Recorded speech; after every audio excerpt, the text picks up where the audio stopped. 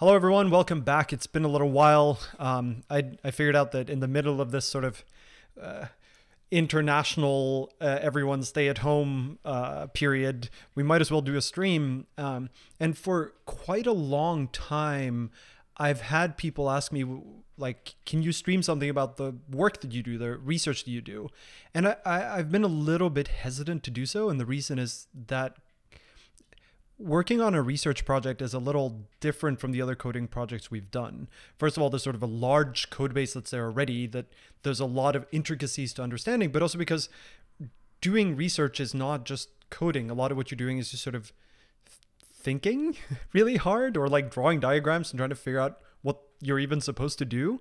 Um, uh, but but now that enough people have asked and and we have this opportunity where I'm working from home anyway, uh, I figured we let's just do it and see what happens. Um, I think the style of the stream is going to be a little bit different from the other streams in that. Um, there'll probably be more explanation here and less direct coding, although we will be doing both. Um, because I'm about to dive into a pretty technical part of a pretty technical code base. Uh, so I'll try to explain what I can as we go along, but please, I'll, I'll try to monitor chat a little bit. But um, if you feel like you're not following, then let me know and I'll try to explain a little bit better where we're at. Remember, I'm very familiar with this code base and you are not. Um, and so I'll try to keep that in mind. Um, uh, what was the other thing I wanted to say here? Um, yeah, so the other way in which this is going to be different is that I have a solution in mind for the particular problem that we're going to tackle, um, but I have no idea whether it's going to work. It might be that we try to implement this and then it just doesn't. Like some other problem crops up and it's going to take like a week of thinking before we find a solution to it. This is sort of how research works. Um, and if that happens, then hopefully that'll still have been a useful stream.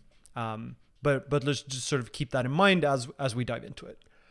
Um, I also want to mention that some of you might be in this video to sort of look at how does a database work internally.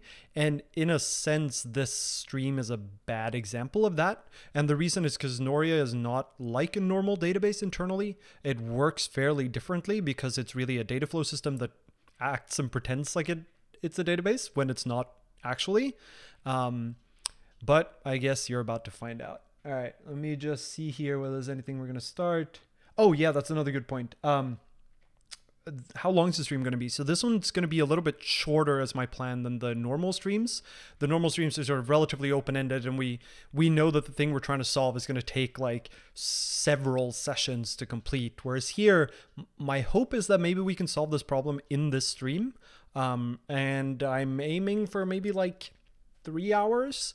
Uh, but really, we'll just have to see and see to what extent we get stuck. And and crucially for me, it's going to be how long does explaining things work? Because as I mentioned, we'll be diving in really deep here fairly quickly, and so there's a lot of stuff for me to explain before we even get to the technical meat. All right. So uh, with that all said, how about we start the technical bit? So the research project I'm working on is called Noria. Um, it is the sort of tagline is a dynamically changing, partially stateful data flow for web application backends, which is a, a mouthful to say the least. But the, the basic idea here is that um, the, the system arose from the observation that databases are not really built for the web applications that people write today. Um, when people write web applications, they're usually very read heavy, not always, but often. Um, and database is sort of optimized for the opposite use case. Reads have to do all this complicated processing, right? They have to execute SQL queries. You have to, I mean, parse and plan and execute your SQL statements. Whereas writes are very straightforward, right? The writes just do an insert into a table that sort of goes to disk. Um, and this means that the work that the application does the most takes the most amount of time and resources, which seemed backward to us. Um, and so what Noria does is something called materialized view maintenance. And this is a, there are many other systems that do the same thing. And the, the basic idea here is to sort of flip this model on its head and say that we're going to store the results of all queries, and then we're going to compute the result whenever the inputs to the system change. So think of it as rather than executing the query when you do a read, we're going to execute the query when you do a write. and then sort of remember that result so that subsequent reads are fast. Um, and this is very similar to what many applications do in practice today, right? People stick like Redis or Memcached or something in front of their SQL server um, and sort of cache the results that they get out of the database or that they compute or the results of many queries potentially. Uh, just stick it in Memcached, and then when you do a read on your next request, you're going to first check the cache uh, and then check the database if it's not in cache. Uh, one reason why we wanted to so not have people do that and maintain their own cache and have the database do it instead is because the database knows what all the queries are. So and it knows the sort of dependencies between the different data sources and the operators. So in theory, it can do a better job of managing that cache uh, than the program or it, it can do it has all the information it needs in order to do that job um, and so it shouldn't have to leave it to the programmer to do all that sort of massaging and for every application to have to re-implement it itself um, so Noria, basically, you can sort of think of it as a, an automatic cache, although it's really a lot more than that. Um, the other aspect to this, so, so you see here it's dynamically changing. So the idea here is that if you add more queries to your system, then Noria will automatically start managing those new queries. Uh, if you have queries that compute roughly the same thing, then Noria is going to merge as much of that compute. Like if you have two queries that both do a join over the same two tables, then ideally the Noria should only do that join once if a write comes into either of the inputs to that join. Um, Noria is also partially stateful, so this is a, a big difference from most existing materialized view systems. And the idea here is that imagine you have a, a sort of prepared statement query, right? Something like, let's take a trivial example here of uh, uh, select all from like uh, articles join votes. Um, and then you're going to select out the count of votes uh, so you're going to group by the article ID, where article ID equals question mark. It would be insane for the database to compute all all of the join results for all articles ever. Uh, and then maintain that because it most of the articles are not going to be viewed again. Generally, there's sort of a window of these recent articles get visited, and older articles do not. Um, and so in Noria, we have this notion of partially stateful data flow where only the results for parameters of queries that you have asked for get stored. So if you've asked for um, Article 7, then the current vote count for Article 7 is going to be stored in, in Noria's caches. Uh, if you have not asked for Article 16, then Article 16 will not be in the caches. And if there are writes for Article 16, those will also not be incrementally computed. Think of this as basically we can support eviction. Um, so that's sort of the the setup here for what Noria is like, which brings us to um, the problem we have to solve today. There's a there's a bunch more stuff here, numbers, and like we're far faster than MySQL, which is not really that much of an achievement because it doesn't take that much. Um, but it is really cool that it can do a lot of this automatically. Um, and now we're gonna get technical to try to explain what the actual problem is.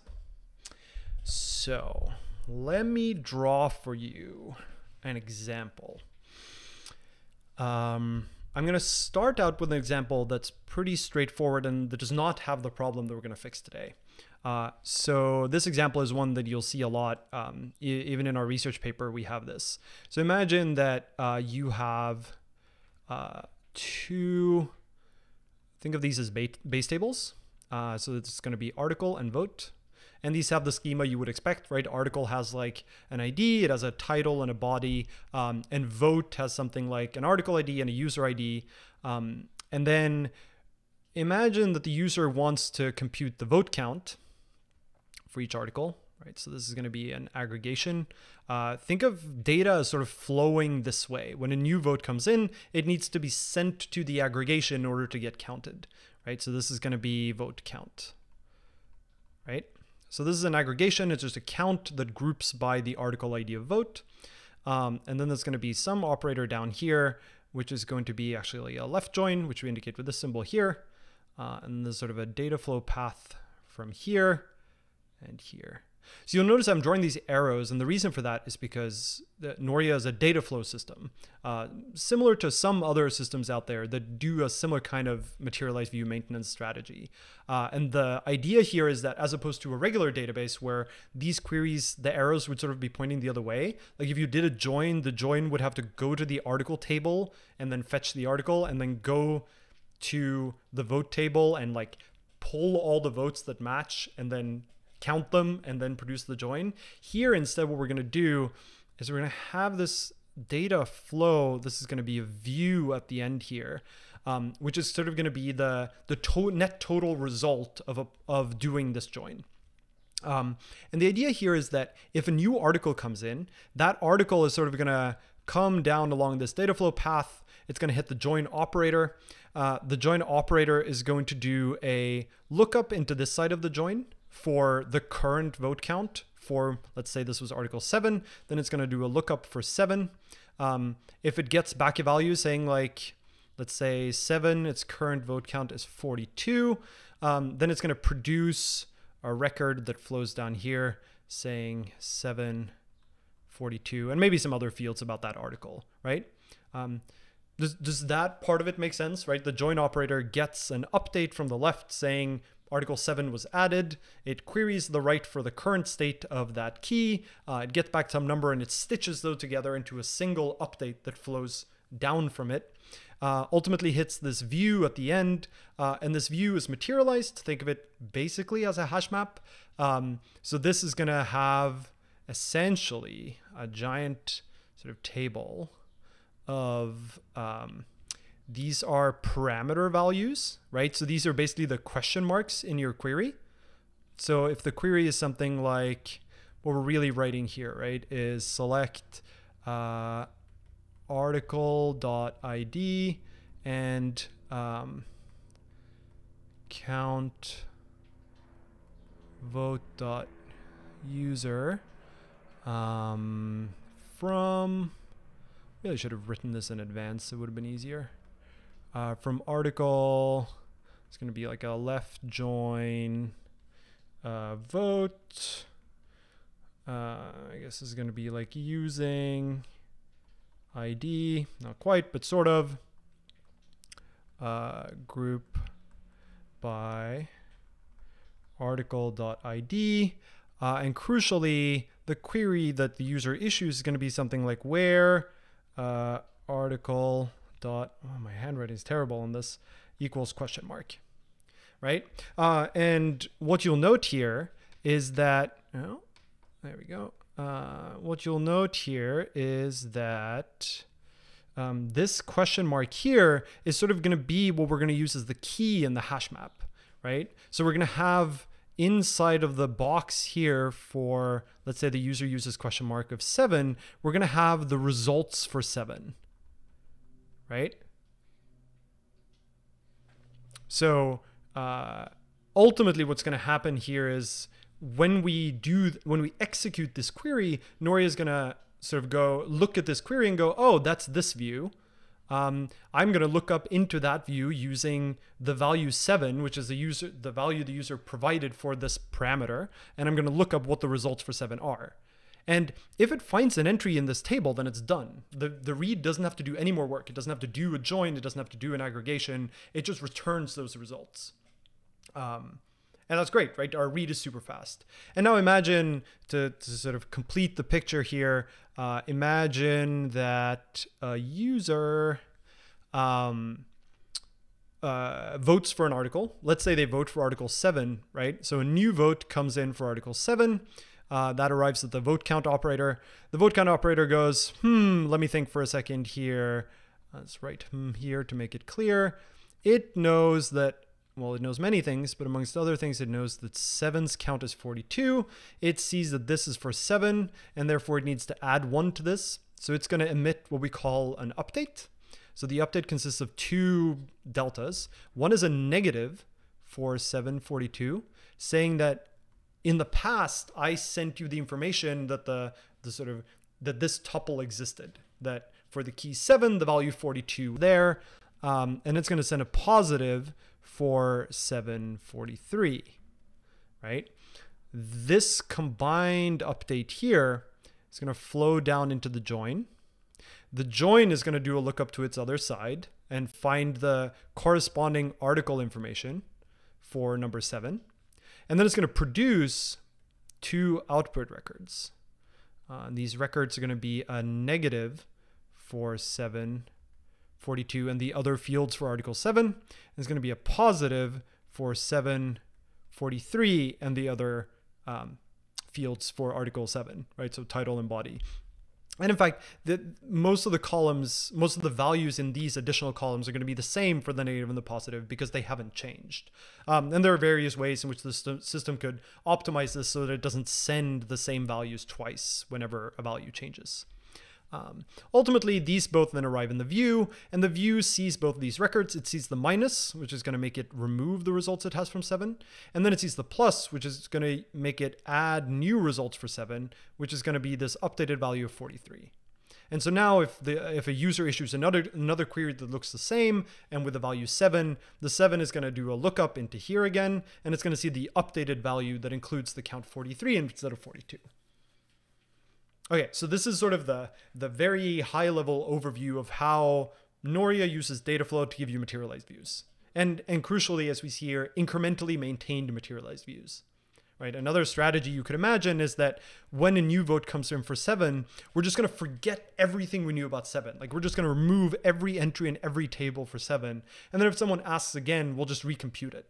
Or you could imagine that if a vote comes in for seven, we're going to query all votes ever for seven and just recompute the results from scratch. Of course, doing this sort of just add one is a, is a lot more, uh, a lot cheaper and what Noria does when it can. Um, so, so I'm going to take some questions from chat here because this is sort of the, this gives you the model that we're going to be working on when dealing with the bug that we're going to be solving later.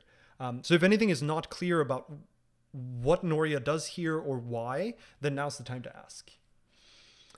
Um, does this work well on a write-heavy application because of all the updates? Yeah, so that's the trade-off this is making. Noria is specifically made for read-heavy applications. If you have a write-heavy application, Noria might not be for you. It is not intended to be. It is specifically for the case where you do far more reads than writes, like orders of magnitudes more read than writes. Um, that said, like it's not as though writes are terrible here. It's just that the writes are doing a lot more work. Um, Noria does support things like batching updates and stuff, so it won't be that bad. But Noria is certainly not built for that kind of work. Um, I'm wondering why Noria was not built on top of stable technologies such as Postgres or Redis instead of starting from scratch. So it's not clear how you implement this model on top of Postgres and Redis.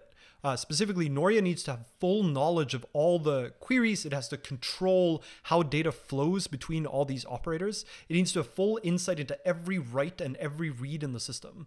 Um, the the second part of that answer is that they're really slow. Uh, so Noria is like orders of magnitude faster uh, for reads, especially than like Postgres or MySQL. Um, and part of this, so there's sort of a, as an amendment to this, which is Noria has much weaker guarantees about consistency uh, than Postgres, for example, gives. It gives similar consistency guarantees to sticking memcached in front of MySQL, uh, as opposed to sort of full ACID guarantees that are, a real database would give you. Um, and similarly for Redis, it's not clear that that would bias anything. That said, um, Noria does have, ooh, um, so these base tables uh, are actually stored in RocksDB. Uh, and this is where our, our imagination here is that these are actually um, uh, the what storage engine you use there should be swappable, um, and it should be pretty straightforward. the The interface there is very easy. Um, yeah, so this answers the question of is it strongly consistent? It's not strongly consistent. Um, although what we do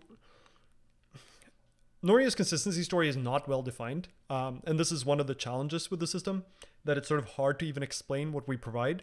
But in general, the goal here is that when you do a read, it's going to reflect uh, past writes, and it's not going to go back in time for any given view. So basically think of every view is going to be a snapshot of you doing a query at some point in the past, but we don't give a guarantee about what that point in the past is. Um, and if the system quiesces like input stop to the system, then the the result that you get from reading is going to be the same as if you just executed the query over the the base data. Um, is the caching view really a hash map as you hint, or is it more like a bag? Um, so the caching view is actually an EV map. So this is something I've talked about elsewhere uh, in one of my talks. I think it's on YouTube somewhere. Um, it's a so it it is more like a bag, um, and it also does some other cleverness to deduplicate the the records. Um, but essentially, it's it's sort of a yeah, essentially it's a bag. Uh, and then it has a bunch of cleverness around concurrency so that you can do reads completely in parallel without synchronization, uh, and uh, you can still do writes concurrently. So that's sort of a separate data structure that we're not going to be talking about today. Um, is Noria production ready? No, it's a research prototype. It is definitely a research prototype. Um, it, like I think it works. Uh, I would not use it in production. I think it could be made production ready if like a bunch of engineers sat down with it and just like went through the code base with a comb and of there are a bunch of things that matter in production that does not matter for research. Uh, like there are a bunch of things I know I want to change about Noria's sort of interface and inner workings and that sort of stuff that it's just like not worthwhile spending time on in a research context. Um, but if you were to use this for something real, you would want to. Um, how far along is it? Um, so Noria's you can totally use Noria. Like it supports sort of most of SQL. I don't want to say all because it doesn't. Um, but it supports like all of the stuff, like the query I've shown you here and a bunch of others. So one of the things we've done is taken the Lobsters website, which is sort of like Hacker News, and we can run all of their real queries, like the, the ones they actually get when you access the Lobsters website. All of those we can run, and we have benchmarks that um, that show that in in the Noria paper, which is linked from the GitHub repo. Um, is write heavy an absolute value or relative to the number of reads? Well, um, so Noria has some amount of writes per second it can tolerate. What that number is depends essentially on the complexity of your query graph, right? The more work you have to do on every write, the more expensive your write path is going to be. Um, and so if you have really complex queries, your writes are going to be slower. Your reads are the same speed no matter what the queries are, which is kind of cool. Um, effectively, if you have more complex queries, it translates to lower write speed um, and to higher read update latency. So the latency between when you do a write and when it becomes visible is basically the time it takes for that write to propagate through the, all the operators. Um, so in that sense, there's no absolute write performance number. Uh, it also supports sharding, and so that's the kind of stuff that uh, would let you speed up the write path. Uh, the only thing it could be based on is a storage engine, but I think all the querying engine, its primitives cannot be based on some existing tech. Yeah, exactly. Basically, all of Noria's uh, query stuff is custom made because it sort of has to be. It just does not work the same way a normal database does. There are no scans, there are no index look- lookups in the same way. Um, all the queries are turned into data flow. Like when you write this query to Noria, which you can, you can write exactly this query and give it to Noria. Um, what's going to happen is that Noria's sort of internal engine is going to turn that into the data flow graph on the left. Um, and from that point forward, the SQL does not exist as far as Noria is concerned. It's just a string that it uses to look up node indices in the data flow graph. Uh, so Noria is a replacement for Postgres and a read-heavy application. Yeah, you could think of it that way. Um, we have we've actually implemented the MySQL binary protocol. Uh, so in theory, there's this there's this is shim we've built that you can stick in front of Noria, and then just make it listen on like port 3307 or something. Uh, and then any application that uses the MySQL client library, in theory, should be able to just like switch to point to that instead of MySQL and everything should just work. In practice, it's not quite that simple because Noria doesn't actually support all of SQL. Um, but that's sort of the idea that, that, you should be able to use it that way. Uh, RocksDB uses LSM trees, so writes aren't too terrible. So the bottleneck is not writes to base tables. The the writes here are just inserts, which like are even if they have to go to disk, they're not that expensive compared to all the compute you have to do internally in the graph. Um, great. Oh, there are more.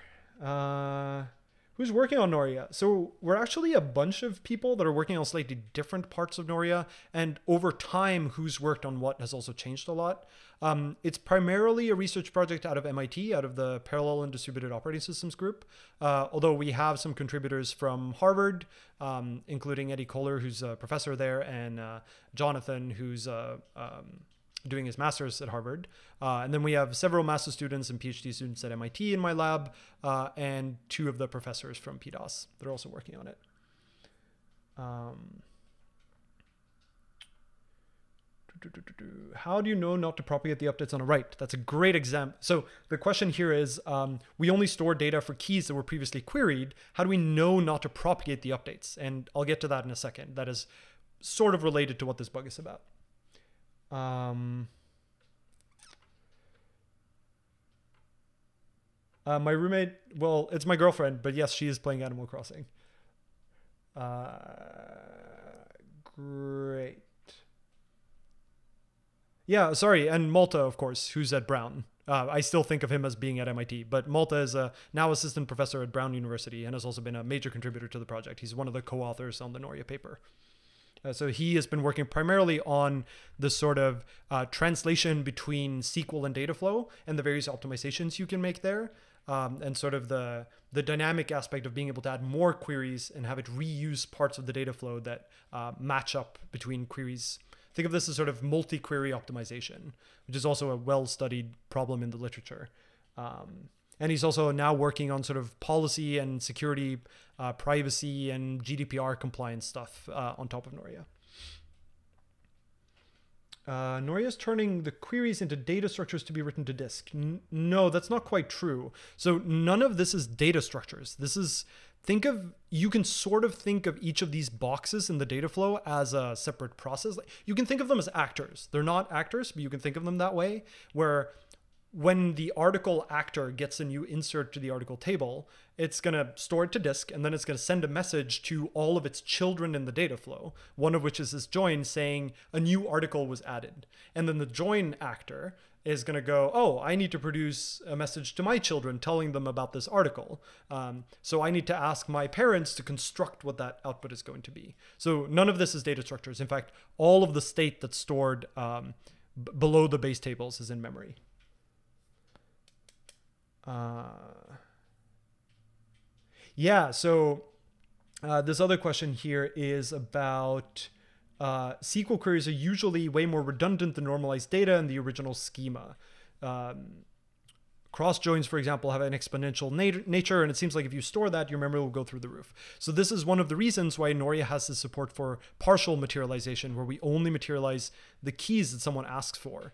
Because if we materialize the result, all of the results for every query, your memory would just explode, right? When you do a join, the size of the output of that join is sort of proportional to the product of the sizes of the two tables. Um, well, depending on how you write your, your query um, and the semantics of your data. And so this is why Noria tries very hard to not materialize everything ever. It well, whenever the query allows. Instead, it tries to only materialize the things that the user has explicitly asked for uh, and allows you to evict those things over time. This is sort of one of Noria's primary features. Um, updates and deletes are fine. So updates are, uh, think of it as sending a negative followed by a positive to the base table, and removals are just sending a negative to the base table. Um,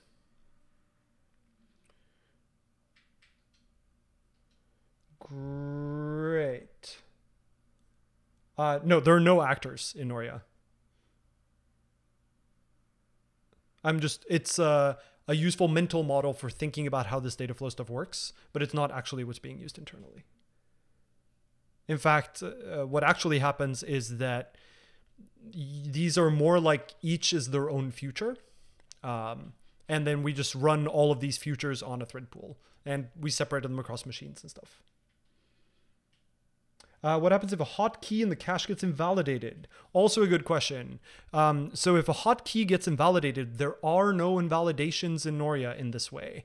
Um, if you look at this right here, the a new vote came in for Article 7, which was in cache. The value gets updated in place. It does not get removed. And so subsequent reads are never, basically never miss. There are cases where they might miss, uh, and we'll get to those in a second. Great. All right. Uh, so now let's get into let's get a little bit closer to the issue we're going to tackle today. So I'm gonna um, maybe try to move to the side here if I can. Uh, apparently I cannot. So, ooh, this is gonna be interesting. I don't even know how to move in this. Uh, I guess I have to switch to the move tool. That did not used to be the case. Very sad. All right. Uh, so here we're gonna talk. We're gonna use a slightly different graph. Um, let's go with that color's pretty. Um, so I'm gonna go back to this graph that we had previously, uh, but sort of more in the abstract at this point. So one of the things that's cool about Noria is that all of these edges, right, are really just channels. They're just ways for one operator to talk to another. And so we can actually make any of them be network links if we want. So this is one of the ways that Noria can run in a distributed fashion. Um, but we got the question earlier of how do you do this sort of like if you have a table down here and it starts out empty, then what happens if a user read comes in, right? Um, if some user is like, well, hey, uh, what's the current value for seven in the query that we saw before? And the database goes, well, I don't have an entry for seven. What do you do? Uh, and crucially, what happens if like many clients all ask for seven at the same time, which could also happen. Um, the, and this is where Noria's notion of partial comes in. And this is actually much of what the complexity in Noria comes from is dealing with these kinds of cases of being able to have missing state. So specifically what happens to Noria here is we issue what we call an up query. Uh, so an up query is a way to send a message uh, back up through the graph to your parents, like towards the roots. Um, we, we generally call these leaves uh, and these roots um, for somewhat weird reasons. Databases do them the, the other way, way, but it's fine. Um, so here, if a query comes in for seven, what we're going to do is we're going to issue an up query which you can sort of think of as traversing all of the edges in reverse, um, all the way back to the nearest place that has the data. So you can think of this as if this has a materialization, if this stores some data that contains seven, then we're done. We can just respond from the data that's stored here, and we don't need to do this additional upquery. But if 7 is also missing from this operator, then we need to forward the upquery to our ancestor. And then our ancestor needs to look at its data and see if it has 7. And if it does, it responds. Otherwise, the upquery re recurses. Um, ultimately, if, if nothing in the graph has that key, if like no one has ever asked for seven anywhere in the world, uh, anywhere for any operator, then you're going to end up with a query hitting the base table, at which point it, it basically, it doesn't become a scan, but it becomes a, a lookup in the base table, which is guaranteed to have all of the results for seven. Uh, so we, so it's going to have like some amount of records. As what we say here is that up queries recurse uh, until they hit a materialization. Uh, well, until they hit in the materialization. Uh, there are two types of materializations. There are partial materializations like this one and this one, and there are full materializations like this one. Um, and the biggest difference between these is that if you do a lookup into a partial materialization and you do not find the data, then you need to recurse. If you do an upquery into a full materialization and you do not find the data, then you know that the result is empty. Um, this also means that for partial materializations, we actually need to store tombstones.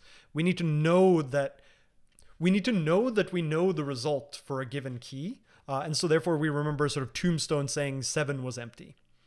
Um, but ultimately this is going to recurse all the way up to seven. And then the sort of clever part here is when an upquery, uh, let's go with this color.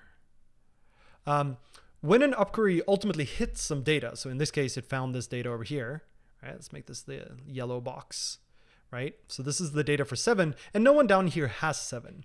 Then what it's going to do is it's going to forward that chunk of data for seven just along the normal data flow path. Think of it as it's going to send it as if it was a write.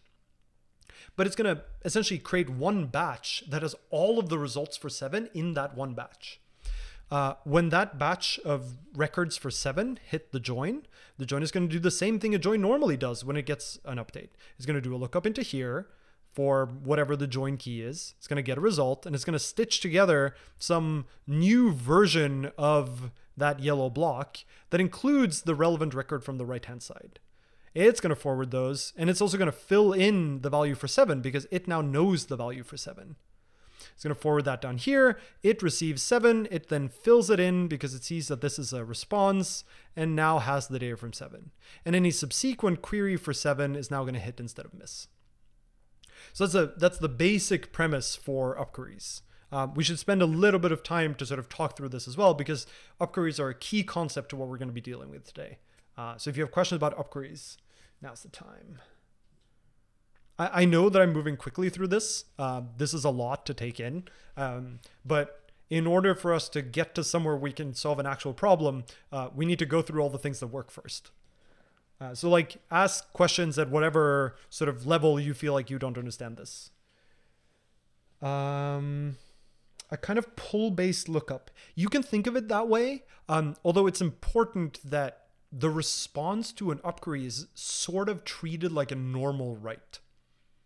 Uh, it this means that the operators do not need to have special code to deal with the the sort of partial case. The operators is written to take records from from their ancestors and produce records for their children. All right, so for a filter, to take sort of a simple operator, the filter operator takes records from its parent, and then for each record in that batch, if it matches the filter, then it's included in the output it sends to its children. If it does not match the filter, it's not included. Um, a join is a little bit more complicated, right? Where for every record in the batch input you get, you do a lookup in your other ancestor for the what whatever is the join key, and then you sort of splice together the results, and that produces the output batch. Um, but it, but the nice part of this is all of the operators are basically are more or less unaware of the fact that partial exists. The operators can just can just know about their own semantics, and that's all. Um, let's see here. Could an upquery, upstream upquery hit two nodes at the same time with different results? Yeah, so the, this is going to be the next step, which is how do you deal with consistency when you have upqueries? So it's a good question. We're going to deal with that in a second. Um, does the upquery recursion tend towards the shortest path? Um, the in general, when you analyze a given graph, uh, the upquery must take a given path. Um, there might be multiple paths in the case of unions, or in the case of joins, you get a choice. Um, in terms of getting a choice, Noria tries to be smart about which path it chooses. Like if you have a full inner join, um, the upquery can take either path, but it will should not take both. Um, and the details for that are relatively complicated. But for a union, you have to upquery both paths. I'm only talking about things that have two ancestors, multiple ones generalize. Um, but if you have an upquery that comes to a union, it has to take both paths. Uh, and if you have an upquery that goes through a join, you pick either path. And then when the response comes back, it's going to query the other side. Um, and that query you can think of as being the other part of the upquery. Uh, so you end up exploring both paths. And there it tries to be intelligent about which one it does the replay from and which one it does the lookup into. Um, uh, how do you remove tombstones? Um, so you can evict entries in Noria. Uh, currently, the process is relatively stupid. It basically does randomized eviction, which is not great. Um, but you could implement something like LRU or whatever. Um, for, for, us, the important thing was to support eviction. Uh, choosing an intelligent eviction scheme is sort of not that interesting. This is one of the examples of a difference between production and research. In research, it matters that we can support eviction. It is not terribly important that the eviction is also smart. That's sort of a separate area of research um, because most materialized view systems cannot support eviction at all. Uh, except on sort of the full query level, like remove an entire query or keep the entire query. Whereas here we can be a lot more fine grained about what we include and what we remove. Uh, don't understand SGBDs. I don't know what SGBDs are. So you'll have to explain that to me. Uh, is it worth understanding why we traverse to the left parent and then the right parent? Um, in the case of a left join, so in the specific case where this is a left join, you must query the left side. Uh, the reasons for this are somewhat complicated and not relevant to what we're going through today, uh, but you must choose the left. If it's a full join, uh, an inner join or an outer join, uh, you can query either ancestor. It does not matter. Uh, there might be different terms of performance, but it does not matter in terms of semantics. Um, there's eviction when materialization gets too big. Yep. Uh, you have a main DB at the bottom. There's no main DB. Well, so so if you're talking about the the view at the bottom, it's really just like a hash map. It it has no smarts. It doesn't know about queries. All it knows about if someone asks me for seven, I look up in my hash map, and if I have seven, I return that. Otherwise, I upquery. And so every every operator, every node in this data flow graph only knows about its own semantics. It does not know about queries or anything like that. Um, none of these are databases in and of themselves. They really, like the join operator, really only knows about joins. The tables at the top have an interaction to some kind of persistence engine, currently RocksDB, but it does not have to be. Um, but that's only for durable storage. They don't use the query interface really for that. Um, would the upquery go both paths from the join? So I think I've covered that. Um, reminds me of laziness. It is sort of like laziness. Um, you sort of force the thunk that is seven when you get a an upquery for seven. The model sort of falls apart if you look at it too closely, but sort of. Um, because you sort of essentially manage this tree of dependencies you need to explore in order to get the final result. Um, what data type are you using underneath? Underneath where? Um, uh, would it be too hard to add pluggable eviction? No. I mean, eviction is sort of just separate. The, the way eviction actually works currently is you can insert an eviction record into the system at any point. Like you can insert here saying, I want to evict something from here. Uh, and then it's going to flow through the data flow. And when it hits here, it gets evicted from there and anywhere down. Uh, you have to evict from um, from anywhere you evict, you have to evict all the way to the leaves for that key um, because otherwise you run into consistency issues. And we talk about this in the paper. Um, uh, eviction scheme sounds conceptually similar to garbage collection. Um, maybe, kind of, a little bit different. Um, oh, DBMS. Ah, that's fine. Uh, graph data structure. There is a graph data structure actually to keep track of the full data flow graph, um, although it's relatively immaterial. Uh, we don't really do any advanced analysis of the graph itself, although you could for things like query optimization. Um,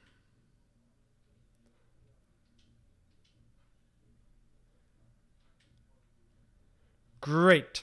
All right. So now we're going to move on to step three, which is over here. All right. So now let me pose you with a problem. Um, let's come up with. All right. Now we're going to start talking about unions. All right. So I'm going to have two base tables. Uh, so these are base tables A and B. Let's call them A and B. And then over here, we're going to have a union. Uh, and then down here, we're going to have some kind of view um, all of the, the view is going to be partial. The union does not need to be materialized because it doesn't need to have any state to compute, right? So an aggregation needs to have a materialization because it needs to store the current count or this current sum. Uh, a union is stateless, is a stateless operator, much like a filter.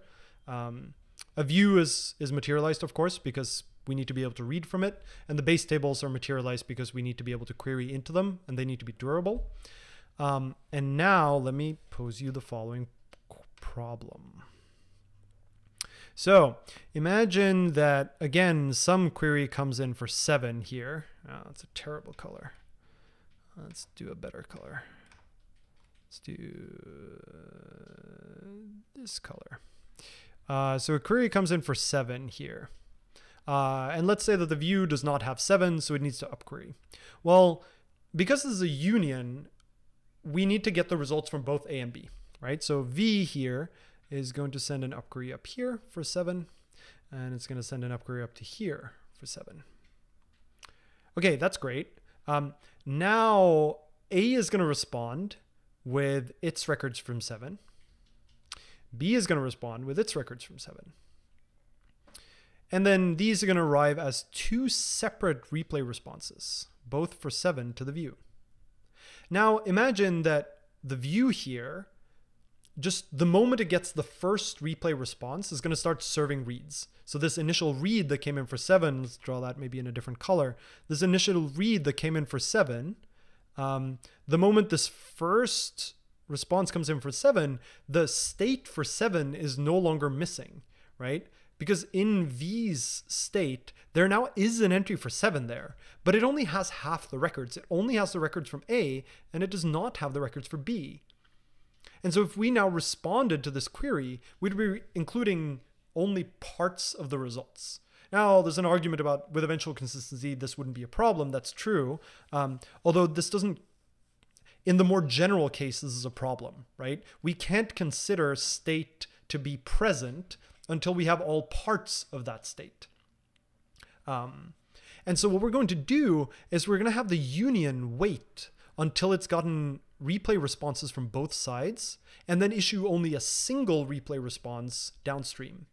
So rather doing what we're currently doing here, the union, when it gets the first seven, this is the first replay response for seven or upquery response for seven, it's not going to forward it. Instead, it's going to keep this little box where it's going to stick the seven. And then it's going to open a similar box on the other side, and it's not going to allow through this replay for seven until eventually the replay from seven from the other sides arrives and fills this box. At this point, the union has filled both its boxes. And then it can combine, because it's a union, right? It can combine both of these upquery responses into a single seven response, which then fills the state in V um, completely immediately. Does that make sense? Why we need to do this? Why we can't just expose the partial state? Let's think about this for a second because this is also important to what we're eventually going to get to fixing.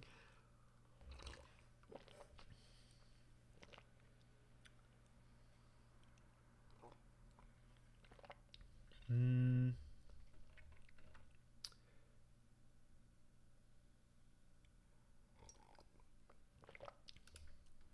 All right. So hopefully this one, th this should not be too complicated yet. Um, this is just like, obviously we can't just take the first response we get. We need, the union basically needs to know about the fact that it's a union and that if if one upquery response came, then there will be others. Whoa, that's a lot of questions at the same time. Uh, seven is not a primary key, so results may be in both A and also B. Yeah, seven does. So Noria does not require primary keys anywhere. Um, but here, even if seven is a primary key, it might be a primary key of A and B, in which case there would be one entry in A and one entry in B um, that they both need to be replayed. But yeah, there's no uniqueness constraint here on, on the column that seven is hosted in. Um, how is it that a materialized child can have a stateless parent from which it needs to draw data?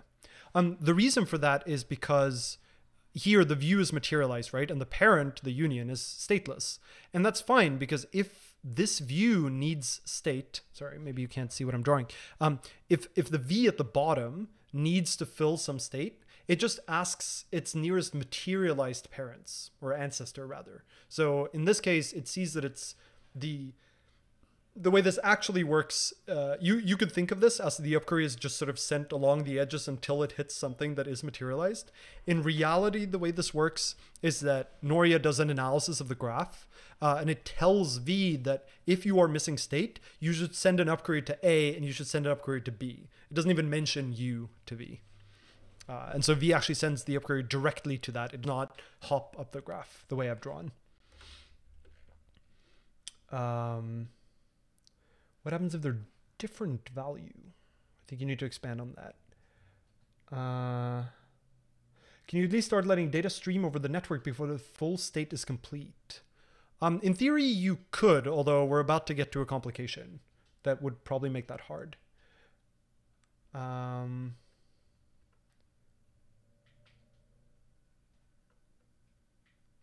uh-huh.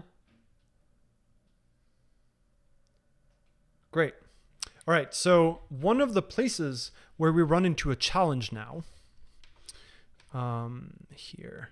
So what I'm going to do is in red here, let's hope red is okay. Um, I'm going to start injecting writes into the system. So here, there you can imagine that there are a bunch of concurrent writes coming into the system, right? And some of them might be for seven, but some of them might be for some other key, like let's say eight. Um, this poses a problem with upqueries. Um, and the reason for this is imagine that on this path, let me, I think I need to erase a little bit here. Ooh, that was larger than I wanted. Um,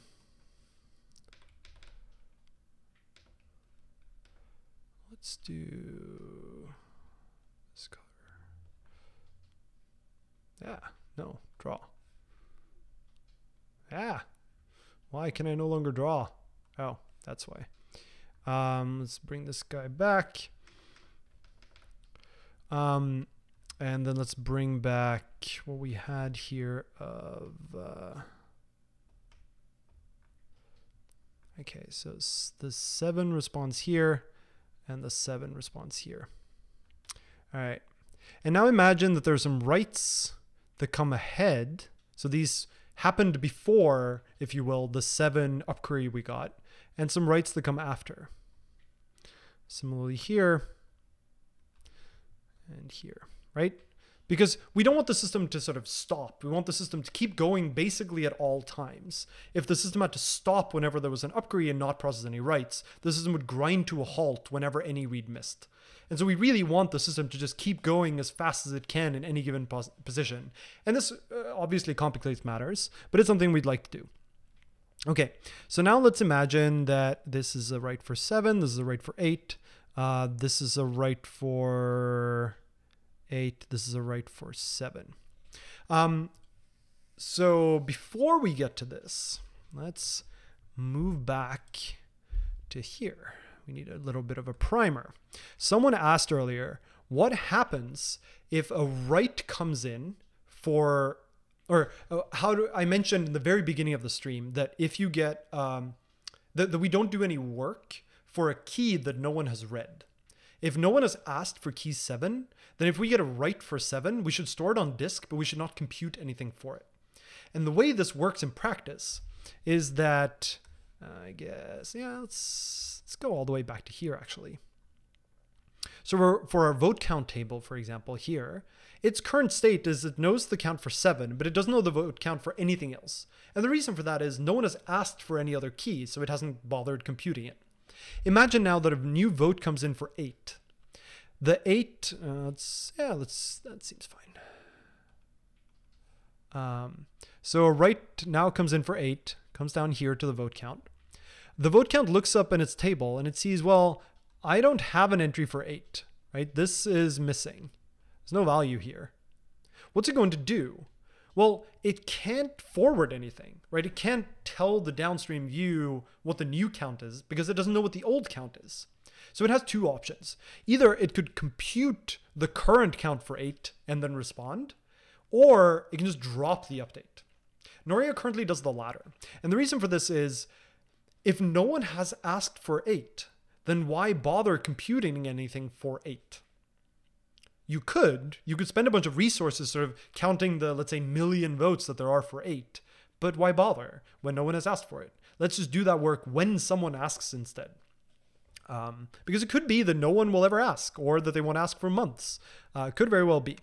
And so Noria currently, when it gets a write for uh, for a partial entry that it does not have, it just drops that update and does no more work.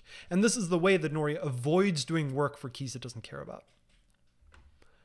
Um, which then brings us back to this problem. Uh, All right, so consider what happens when these writes flow through the union, right? Ultimately, these writes are going to feed into this union. And the union, it's stateless, right? So it doesn't know whether to drop or forward updates. So it's just going to forward everything. It wouldn't know whether we missed. So it's going to forward it to the view. The view down here has seven, but does uh, does not have seven yet, right? This is the green stuff here is after we've gotten seven. So it gets a write for seven, which it drops. And then let's just imagine that it gets the two things from the left, right? So you get seven and eight from the left. Uh, it's going to drop both of them because it has no state for them. And it doesn't, so it doesn't know what the past state is. So therefore it doesn't know what to do about those updates. So these are just going to be dropped. Um, and then the when the up query response for seven eventually arrives and the state gets filled in. So at that point we have the state for seven in the view. Then any subsequent write for seven or eight, so anything that comes after the up queries, right, is going to flow logically after this, right? They're going to come in after here, and those are going to be applied because at the point when we receive them, we do have the state for seven. We do not miss when we get that right. Okay, just let's pause there again for a second before we continue. Um, let's see.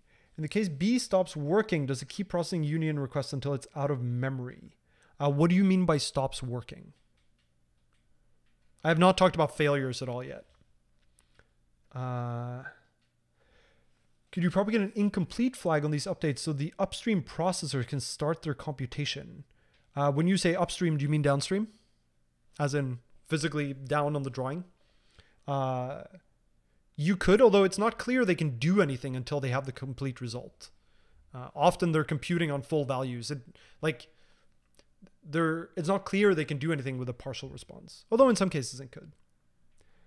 Um, what happens if A returns a different value for 7 than B? Well, the semantics of a union is that you get the, re- the results from both. It's not a discrete union, it's just a straight up union. So it's all the records from A and all the records from B with no deduplication. Uh,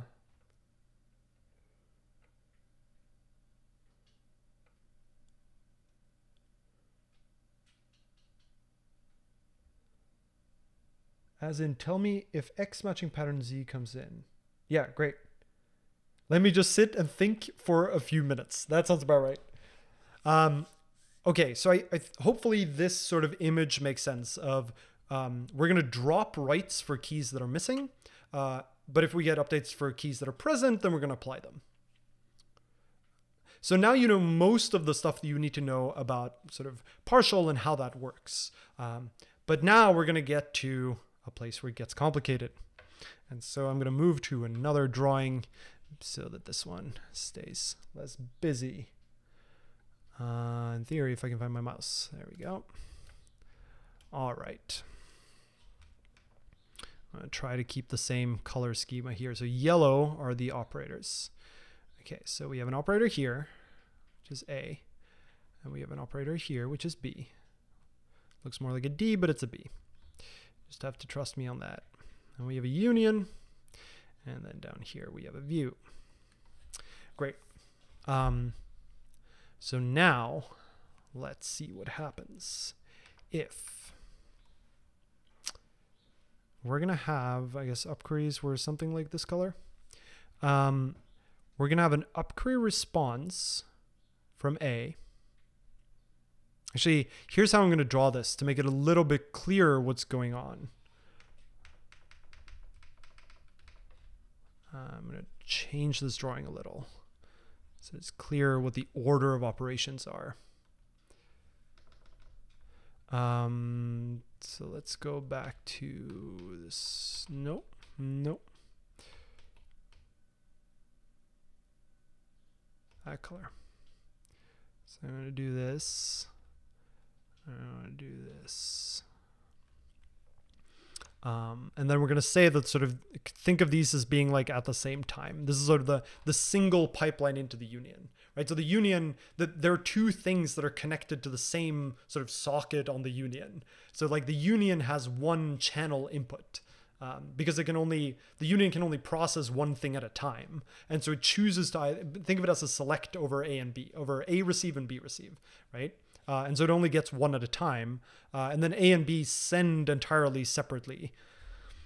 Um, so now imagine what happens if oh I don't want the plat I want this. Um, if the order that the union gets things in is it's going to receive an up query response from A. Let's assume that these are all for the same key for the time being. Uh, then it's going to get a write from B. Uh, then it's going to get a, actually, let's do this. Uh, then it's going to get a,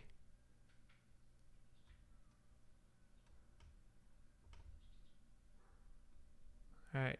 So the order here for the union is that it's going to get an upquery response from A, then a write for the same key from B, then a write for the same key from A, and then the upquery response from B. Uh, and let's see if you start to spot the problem. Uh, couldn't the node at the bottom start processing some data from the partial union like filtering? Um, in some cases it could. The complexity is probably not worth it to have it process incomplete data ultimately you're going to have to do this merging somewhere, and the union is a good place to do it. And remember, the downstream operators is still processing writes and stuff, so it's not as though the system stops. Um, if the upgrades are tagged somehow, could you either drop all the updates before it gets tagged responses back, or start aggregating the values? Yeah, so there are sort of tags here. The tags are generally what upquery path is this and uh, what key is it for. Um, but ultimately, like the, the merge just has to happen at some point. Uh, and so doing it early while processing writes means that you avoid the complexity of having downstream things have to deal with incomplete data. Like computing on incomplete data is complicated. Uh, and so just not having to deal with that is easier. Um, and because there are concurrent writes anyway that the union is letting through, it doesn't really make too much of a difference. Do you have the full documentation somewhere? Uh, there is no full documentation. Most of it is in my head. Um, sadly. There's a lot of detail in the paper. So from the GitHub repository for Noria, there's a link to the paper from OSDI 2018. Um, and that has a lot more detail about how the system works and why it works the way it works. Um,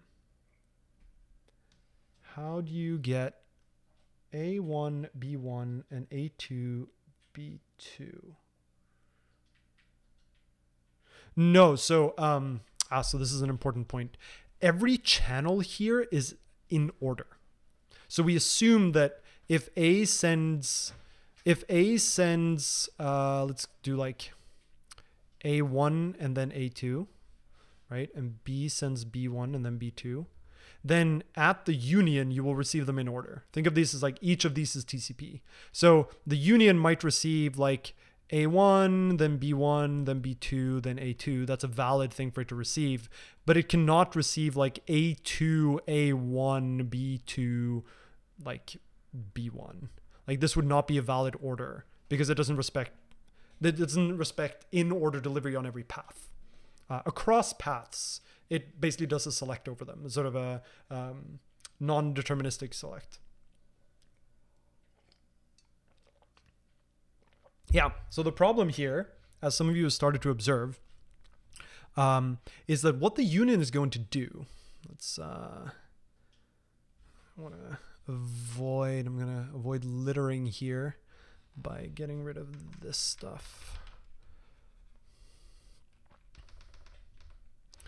Um, the problem here is that the union. Let's name these. So this is going to be uh, don't want to erase.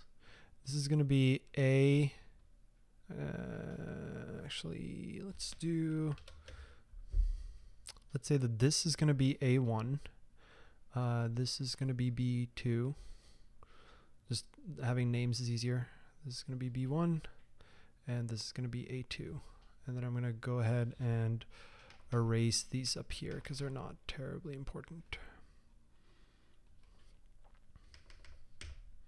Right. So the problem we run into here is the union first receives A1, right? So it it sort of constructs, um, think of it as it constructs its like its left box and its right box, right? And then it sticks A1 in here. Um, and now it's going to be waiting for B2, right? So, okay, we've handled this guy. Now we get B1. What does the union do? Should it forward B1? Right, it has to make a decision. It can't it can't skip ahead on the channel to B2 because it has to handle these in order. So it needs to handle B1 first. It also can't choose to handle A2. It it got like it did a non-deterministic select from its parents and it got B1. What does it do? B1 is for the same key as A1 is. Uh, so it turns out that the right thing for the union to do is to drop B1 drop B1.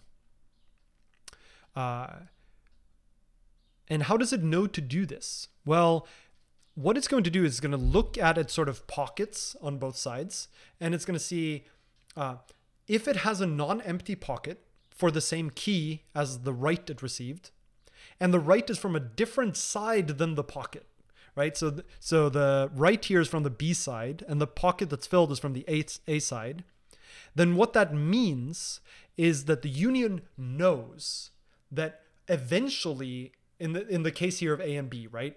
I've gotten a replay an upquery response from A. I will get an upquery response from B. The thing I just got was a write for the same key, which means that I still haven't received the upquery response. And the write happened before the upquery response, so the upquery response must include this write. Or the way to think about this maybe is that B2 B2 must include B1. It might include a bunch of other stuff, but it must include B1 because B1 happened before B2 at B. So when B took sort of a snapshot as what is my current state for the key, let's say all of this is like for key 7 because that's what we've been using, right? So when B got the upquery for 7, at that point it must have already processed B1, and therefore B1 must be included in B2 because they're both for 7. Does that make sense? Uh, and therefore dropping B1 is the right thing to do. If we did not, uh, well, we could, in this particular case, we could actually forward B1 as well. It would be fine because the view would just drop it. But there's no reason to forward B1. We know that no one downstream of us is going to care about B1. Um, okay, now let's imagine that we get A2. Now what do we do? Okay, so we've already gotten A1. And by the by the same argument, the B2 must include B1. Uh, A1 must not include A2. Because at the time when the A1 sort of snapshot was taken for the key 7, A2 was not at A. A had not received A2 yet because it had not yet produced A1. And so when it produced A1, A2 was not present at A, and therefore A1 must not include A2. So dropping A2 is out of the question. If we drop A2, then the state represented in A2 is just gone forever. And so it never gets represented in the downstream view, which would be bad. It would be as if that record never existed. But we also can't forward A2. If we forward A2, the view is just going to drop it because it doesn't have the state for the key yet, because the upquery is not yet completed. And so the, it turns out the result and what you need to do here is if you get a write for uh, think of it as for a non-empty pocket. So in this case, like a come the a pocket has an entry for the key that the write is for, then a2 should basically be unioned into this stored thing. So this is now going to include both A1 sort of union A2. And keep in mind here, A1 is like a snapshot of all the state of 7, and then A2 is just an update to that state. So all we have to do is apply that update to that snapshot of the state. So notice that the behavior is different depending on where we get the update from.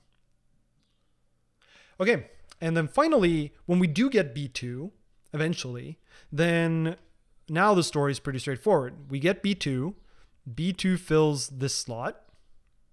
And at this point, we can produce an upquery response from this whole thing, which then includes A1 plus B2 plus uh, A2.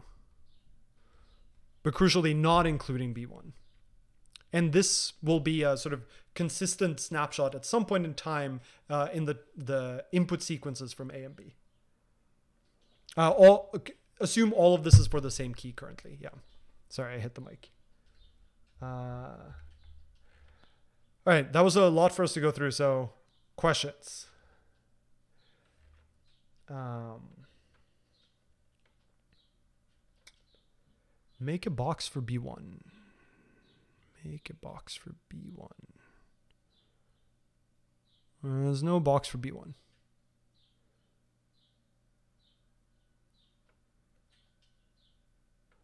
Uh, how do we distinguish between B1 and B2? Is there some sort of artificial timestamp? Um, okay, so there are two questions here. One is how do we know that B1 is a write or an update and B2 is an upquery response? Given that I said that upquery responses are basically treated like normal updates as far as the operators go.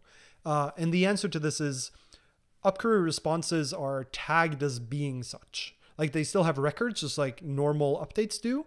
Um, but they also have a little, think of it as a flag that says that I am actually an upquery response for a query for this key. Um, you, apart from that, you can distinguish B1 and B2 by the sequence in which they arrived. Um, but you wouldn't, if all you had was the sequence, you're right, you would not know which one was a, an upquery response and which one was just a normal update. Uh, could the pocket not be a list of sorts? Yeah, so in practice, these, these pockets aren't pockets at all. They're really just um, hash maps from the address of the source. And then it, the union knows how many parents it has. And so it it basically looks for any given update. It looks up in the hash map uh, the source of the packet and then sees whether there was an entry or not for that source uh, for that key. And then when the length of the hash map is the same as the length of the or the number of ancestors, then it knows that it's completed the upquery. Uh, how is order determined? Don't know what you mean by how is order determined. Uh, why can't we use B1 instead of B2? So B2, B1 is an update. B2 is a snapshot. Uh, think of this as B1 is going to be something like um, one vote got, it's going to be like plus one vote for Article 72. B2 is going to be here are all the votes for Article 72. And so B1 is sort of a delta, whereas B2 is the complete result set. And so B1 is not sufficient to fill in the state at the downstream nodes. Uh, B2 is B2 is much larger than B1 is because B2 includes everything for that key for the upquery key, whereas B1 only includes a particular delta. Um, isn't that the same thing on both sides if B2 includes B1? Um, yeah, so B2 includes B1, but A2 but but A1 does not include A2, and A2 similarly is an update. It is not a snapshot. It only includes one delta, whereas A1 is a complete snapshot of the state from A for the upquery key. Uh, writes and updates is sent via a channel which acts as a queue.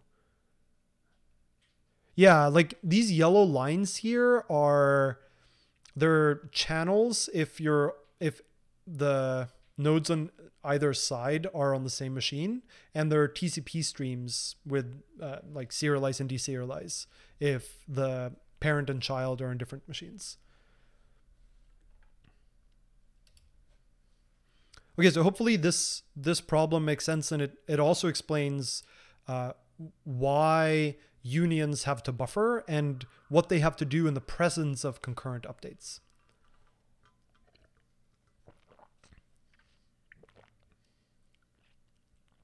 Like you you can see how deeply we've like transitioned into a very deep part of Noria here. Um, are there questions about this before we move on? Or sort of about the general workings of this area of Noria?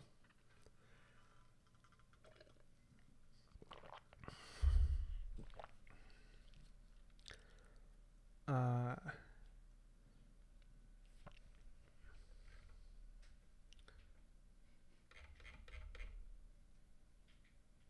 reminds me of video codecs. Um, in some sense, you could think of it this way. Yeah, like A1 and B2 are uh, are what are they called? Keyframes. Um, whereas B1 and A2 are just uh, are just um, delta frames or iframes. Um, if if you come from a video editing background, that that might help. Um, yeah, we will eventually get to coding, but first I have to explain what it is we're going to be coding and what the problem is. Basically, we're, we're about to get to the bug. Uh, the, the next drawing I make is going to be about what the bug is.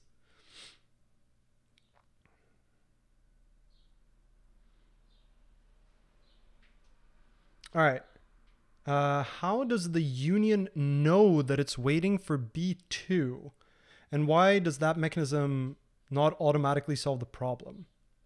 Um, the union knows that it's waiting for B2 um, because, again, assuming all of these are for the same key, um, because it sees that the left pocket is non-empty, right? So it knows that there's sort of a an empty hole in the right pocket. Again, all of the same key, right? So the left pocket for that key is non-empty, and the right pocket for that key is empty. And therefore it knows that it's waiting for something from the right-hand side. Uh, we use B2 because it's a whole thing, not because of consistency guarantees. Correct. We must use B2 um, because B1 is not complete. B1 is a delta, B2 is not a delta. Uh, do you foresee a lot of issues with latency of TCP streams? No. Uh, all of this is the write path, and you can do a lot of nice batching here. Um, and the the latency of TCP doesn't really bother me because again, this is Noria is written for read heavy applications, and the reads never well, the, reads in the common case, right, in the stable case of the system, uh, are just going to be reading from the view down at the bottom they're never going to have to traverse any of these inner edges. And so the reads are just super fast every time. They're not affected by all of this inner latency. Um, are we talking about a very small amount of time creating this hash? Like this isn't the first read where writes occur in a short span of time. Uh, what hash are you talking about? There's no hash here. Um,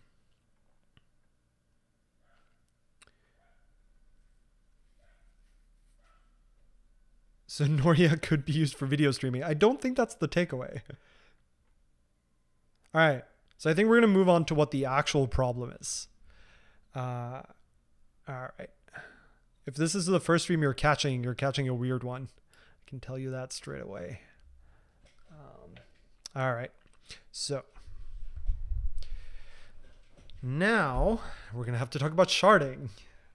But we're getting there. We're getting there. All right. So here's what we got. This color. Um, so now I'm going to present you with a slightly different problem, which turns out to be similar. Imagine that you have some base table uh, and you want to shard that base table. So really, let's say we have two shards. So this is A shard 1, and this is A shard 2. And let's say that this is sharded by some column C1, right? Let's sort of denote the, the sharding key over here this way. I'm much better at drawing the left ones than the right ones. It's weird. Um, and now imagine that you have some operator down here. Let's say that it is a. Uh, I don't really want to define what it is. Actually, let's do that. Sure. Uh, you have some other table over here. I don't really care what it is. It's B, it's not sharded, it's fine. Um, then you're going to have a join down here. Uh, and the join is also sharded. So there are two shards of the join, J1 and J2. Uh, and these are sharded by whatever the join column is. Um, so let's say that this is CJ for the join column, right? So if the if you look up by like article ID, then it's going to be sharded by article ID. Uh, this is for various relatively uninteresting reasons. Um, it makes sense to do this. And there's going to be some view at the bottom, and the view at the bottom is also going to be sharded. And what I mean by sharded here is that we're going to have multiple instances of the same thing, uh, of the same operator.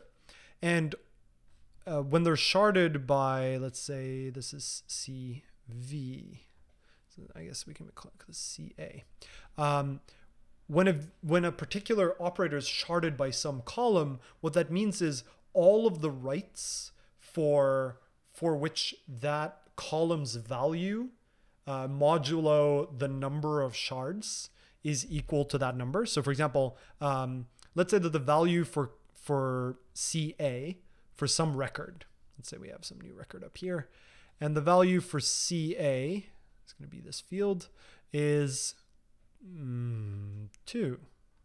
Uh, then what we're going to do is we're going to do 2 modulo the number of shards, in this case, two shards, um, which is going to give us 0. And 0 is going to be the zeroth shard. I guess really I should name these 0. Um, and so this entire record is going to end up going to this shard, as opposed to this shard. Right? Uh, if we got another record where CA was 1, then we do 1 modulo 2, we get 1, and it would go to the other shard. So this is how sharding is roughly going to work. Um, and then whenever you have connections between operators, um, the connection sort of logically looks something like this. Notice that I'm not drawing them all the way to the boxes. Uh, this, I guess I can draw all the way to the box. Um, and then you can sort of think of there as being like a shard a sharder operator here that does this sort of modulo computation and then sends the updates to the corresponding shard. And draw these as this little ball that has multiple children. Um, right, so there's going to be this little ball that we're going to call a sharder. Um, and so imagine that all of the updates that arrive on the path from B and all of the updates that arrive from either A1 and A2, they're all sort of going to flow together and then they're going to go through this sharder and be sent to the appropriate shard of the downstream operator. Um, of course, you can avoid this if the, let's say here, if CJ, uh, if CJ is equal to CV, then this is much easier, right? Then what you could really do is you don't need to do this extra sharding. You can just have J1 connect directly to V1, uh, and you can have J2 connect directly to V2. You don't need to reshard. But if you do need to reshard, so the picture we're drawing on the left here is if CA is different from CJ is different from CV. So this is CA is not equal to CJ um, and this is Cj is not equal to Cv. Um, okay, so that helps. But in order, if we're going to have this one sharder that all of the updates from above are going to come to, then we need to make sure that all of the updates go into it. And so we actually need to combine the updates from multiple shards, both here and here, in order for them to go to the sharder. And so we need some kind of thingamajig here. We're going to draw that with a triangle just for fun because it looks like a triangle. So we have this triangle here. And what I'm going to call this this uh, triangle is I'm going to call the triangle a shard merger. And I'm going to call this a sharder. Right? So the shard merger merges the output of different shards, and the sharder shards all the inputs it gets. Right? So B, for example, B in the top left here, um, B is not sharded, but it but the output stream of B needs to be sharded because J is sharded. And so there's going to be a sharder there, but not a shard merger because there are no there's only one shard, so to speak, of B, so it doesn't need to be merged. Um, and it, it should be fairly obvious at this point that a shard merger is really just a union, right? Because it's taking multiple inputs and just combining them. Uh, and whenever we have a union, lo and behold, uh, we need to do this buffering. Or in other words, we need to implement this sort of pocket system, right? That we've been talking about. Does this sort of model of sharding make sense before we proceed? The the bug we're fixing will appear on this image, I promise. Um, income sharding. Yeah, you're not wrong. Um,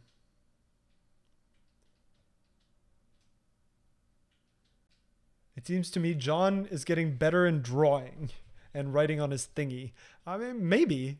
I mean, I think it's possible to maybe understand what this drawing is supposed to be. It's unclear.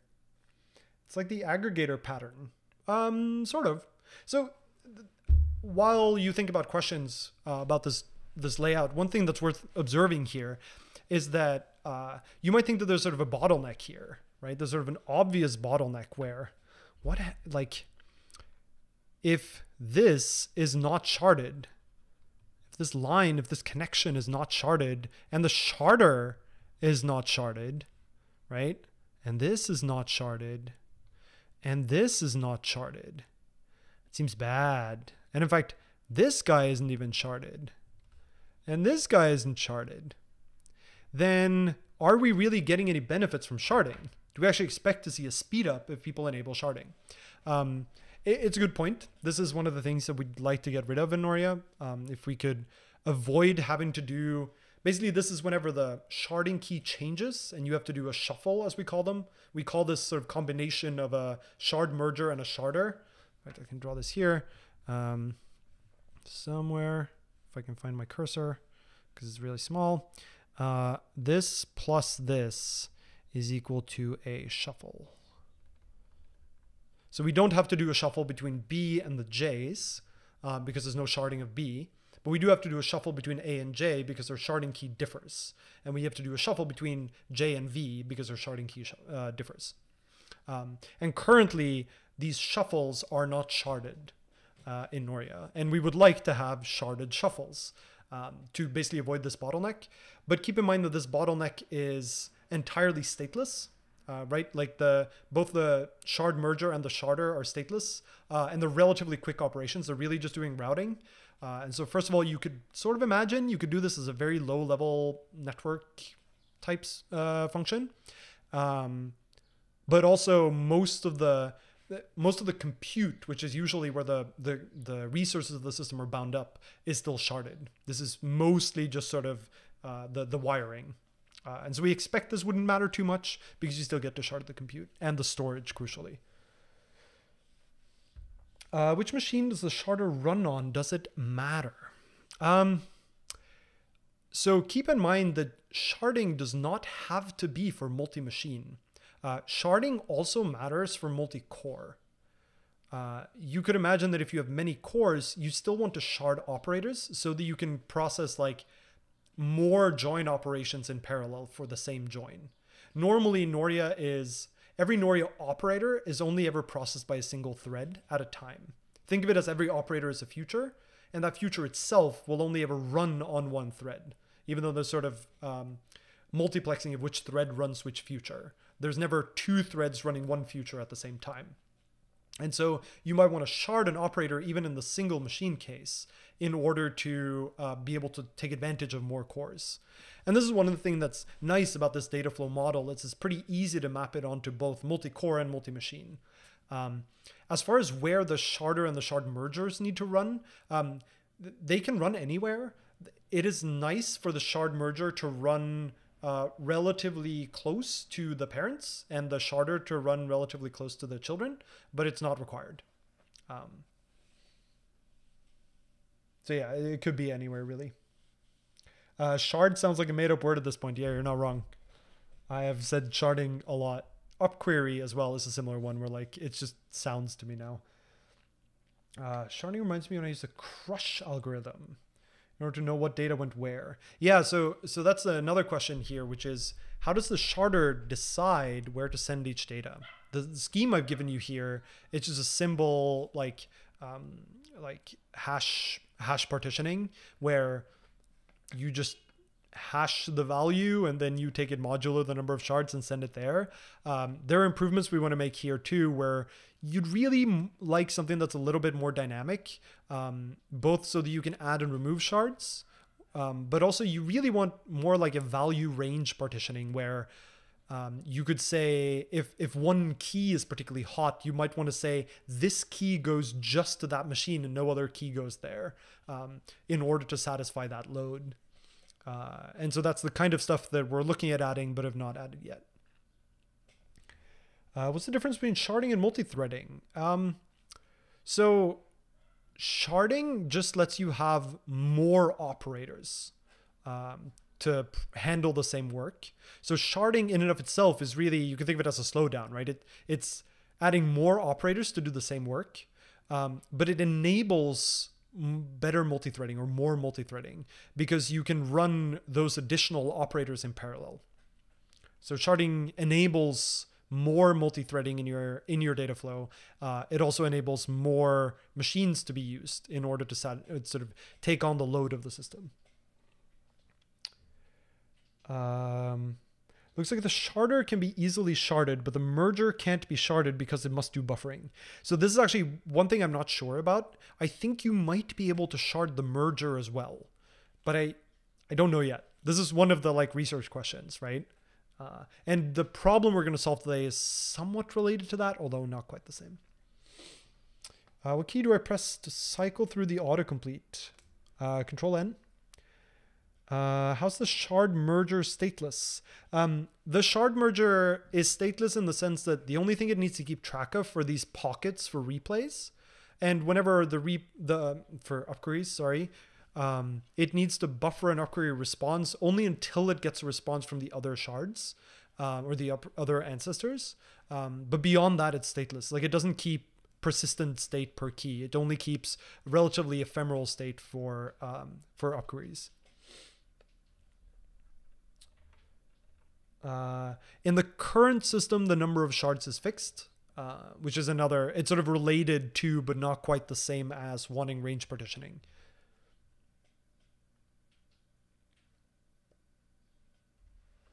All right, so now let's get to what the problem is. Um, and we're only going to solve one part of this problem today because the other part is much more complicated. So let me bring up our upquery color here. This color. All right. Um, imagine that. How are we going to do this? Um, imagine that an upquery comes for seven. Seven is our our enemy here. Um, and it goes to view two because so this is where like CV is going to be the both the column the view is sharded on, which is going to be the same as the lookup column of the view, right? So if you want to query the view on column um, value seven, you only have to ask one shard. This sort of speeds up reads a lot because if you had to ask all shards, it would be kind of unfortunate.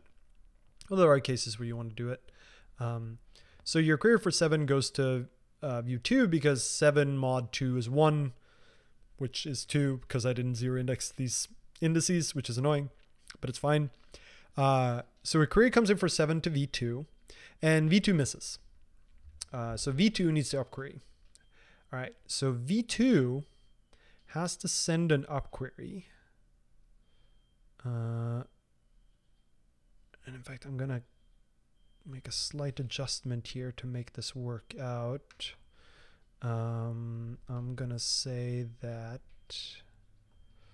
um, this is actually a right join. Should have drawn this the other way around so it was a left join, but it's fine. Um, and you'll see the reason for this in a bit. Um, so this up query needs to go to both shards of J. And to see why, the lookup key here is 7, right? So we, we want everything where CV is 7, right? That's the query that we're sending up here. Well, we don't know because because of this, right? Because of this, the fact that CJ and CV are different, we don't know whether to whether we whether CV equals 7 is at J1 or J2. In fact, there might be some records on J1 and some on J2 because J is just sharded by an entirely different column. And so, unless we knew something else about the data, we have to ask both shards. Um, all right, so J1 and J2 uh, both get an upquery for, for where CV is 7. This is all well and good. Imagine that they both miss. Okay, so now they both have to upquery. So I'm going to draw these in slightly different shades because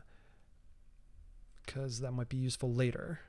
So we're going to go, one is going to be greener, one is going to be bluer. So J2 has to issue an upquery. But it's issuing an upquery for CV equals 7. But because of this thing, we don't know whether it's at A1 or A2, right? So this upquery needs to go to both A1 and A2. So far, so good. But now, and this is the kicker, the upquery we made to J1, it has the same problem it's looking for CV equals 7. Because of this, it needs to upquery both the shards of A. See what the problem is. Both A1 and A2 both receive an upquery for the same key twice. This means that they're going to send two responses for the same key at the same time. And so what happens to our poor, poor union over here? Let's, I guess red is writes. So we're going to go with uh, green, some kind of bright green, maybe. Yeah, that's good. Um, so our little shard merger here, I like to draw them like this with a little dot in the center to indicate this is a shard merger, which is sort of a special form of a union. Um, so this union is going to receive uh, A1, A1, A2, and A2, all of which are upquery responses. And if we think about what that looks like for a second, right? So it conceptually has a left pocket and a right pocket. And remember, it has one of these for each value.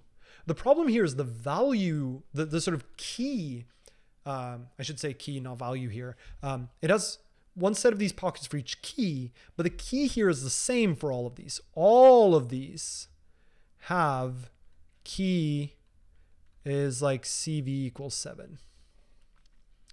So when A1 arrives, that's great. What if another, what if the input to this is such that the order is A1, A1, A2, A2?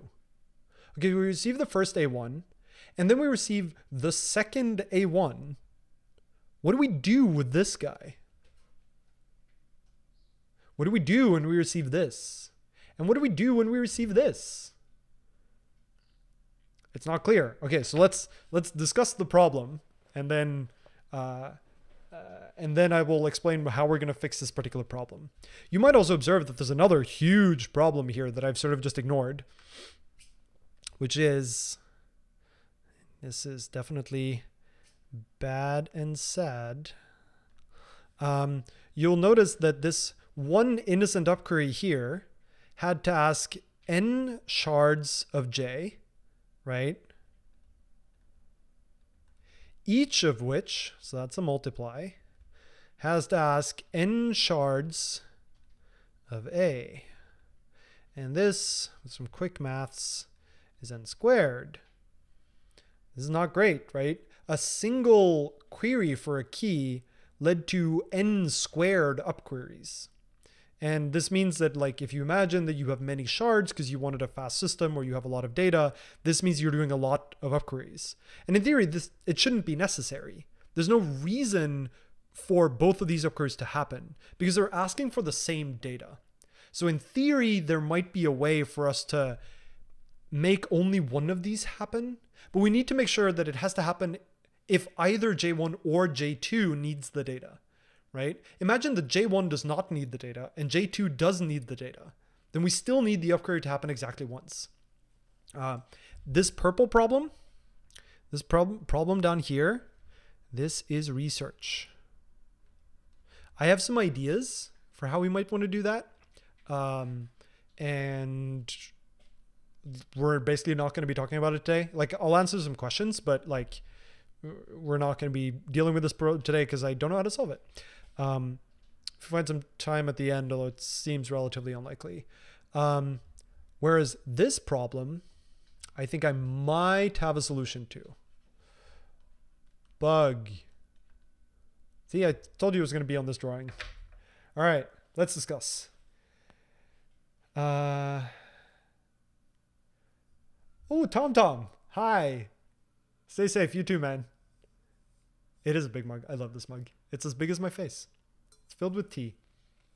Uh, this is an unsafe, undefined behavior macro only 1st of April stream. Uh, I wish no, this is my day to day. Just dealing with this stuff. Uh,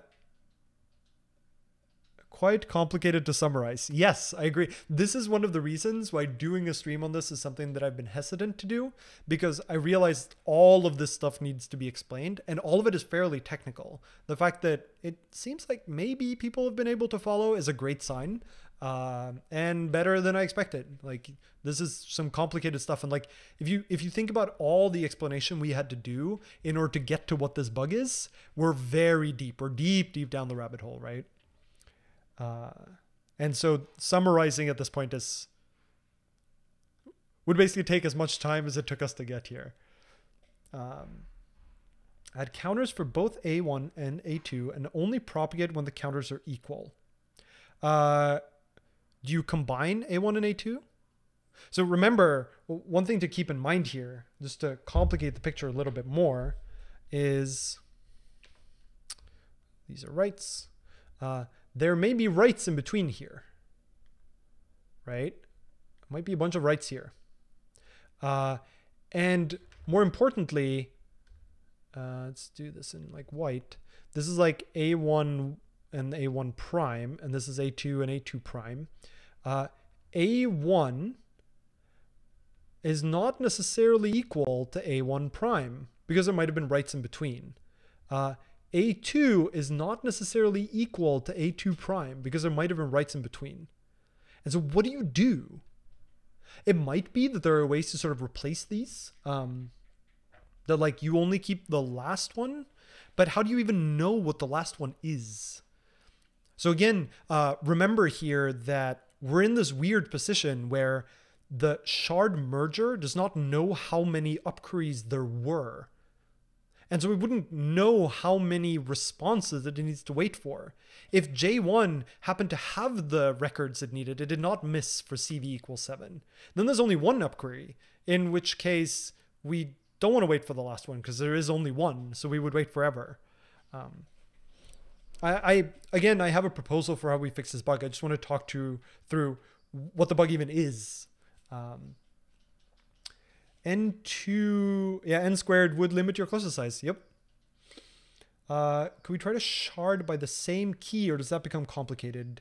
Um, these assume that these view, the sharding of these views cannot be changed. Uh, or if you were to change them, they would lead to significant inefficiencies. Um, basically, the, the way to think about this in, in, the, in the context of this particular graph, uh, A needs to be, A, A, or A, A is a base table uh, that's sharded. A needs to be sharded by its primary key uh, because otherwise you doing primary key lookups, which you do a lot of, uh, would be extremely inefficient. So A1 needs to be sharded by CA. Uh, J basically needs to be sharded by the join key. If it's not sharded by the join key, then every join lookup has to talk to every shard of the join, which would be really bad uh, because most of what joins do is do lookups on the join column. Um, and so th- those two are just set. And the view um, is sharded by the lookup key of the view, which is what you want to shard by, because otherwise every read has to talk to every shard of the view. Um, and so this means that all of the shardings here are basically set. You, if you change them, you introduce enormous inefficiencies to the read or the write path. Uh, and so changing them is not really an option. Uh,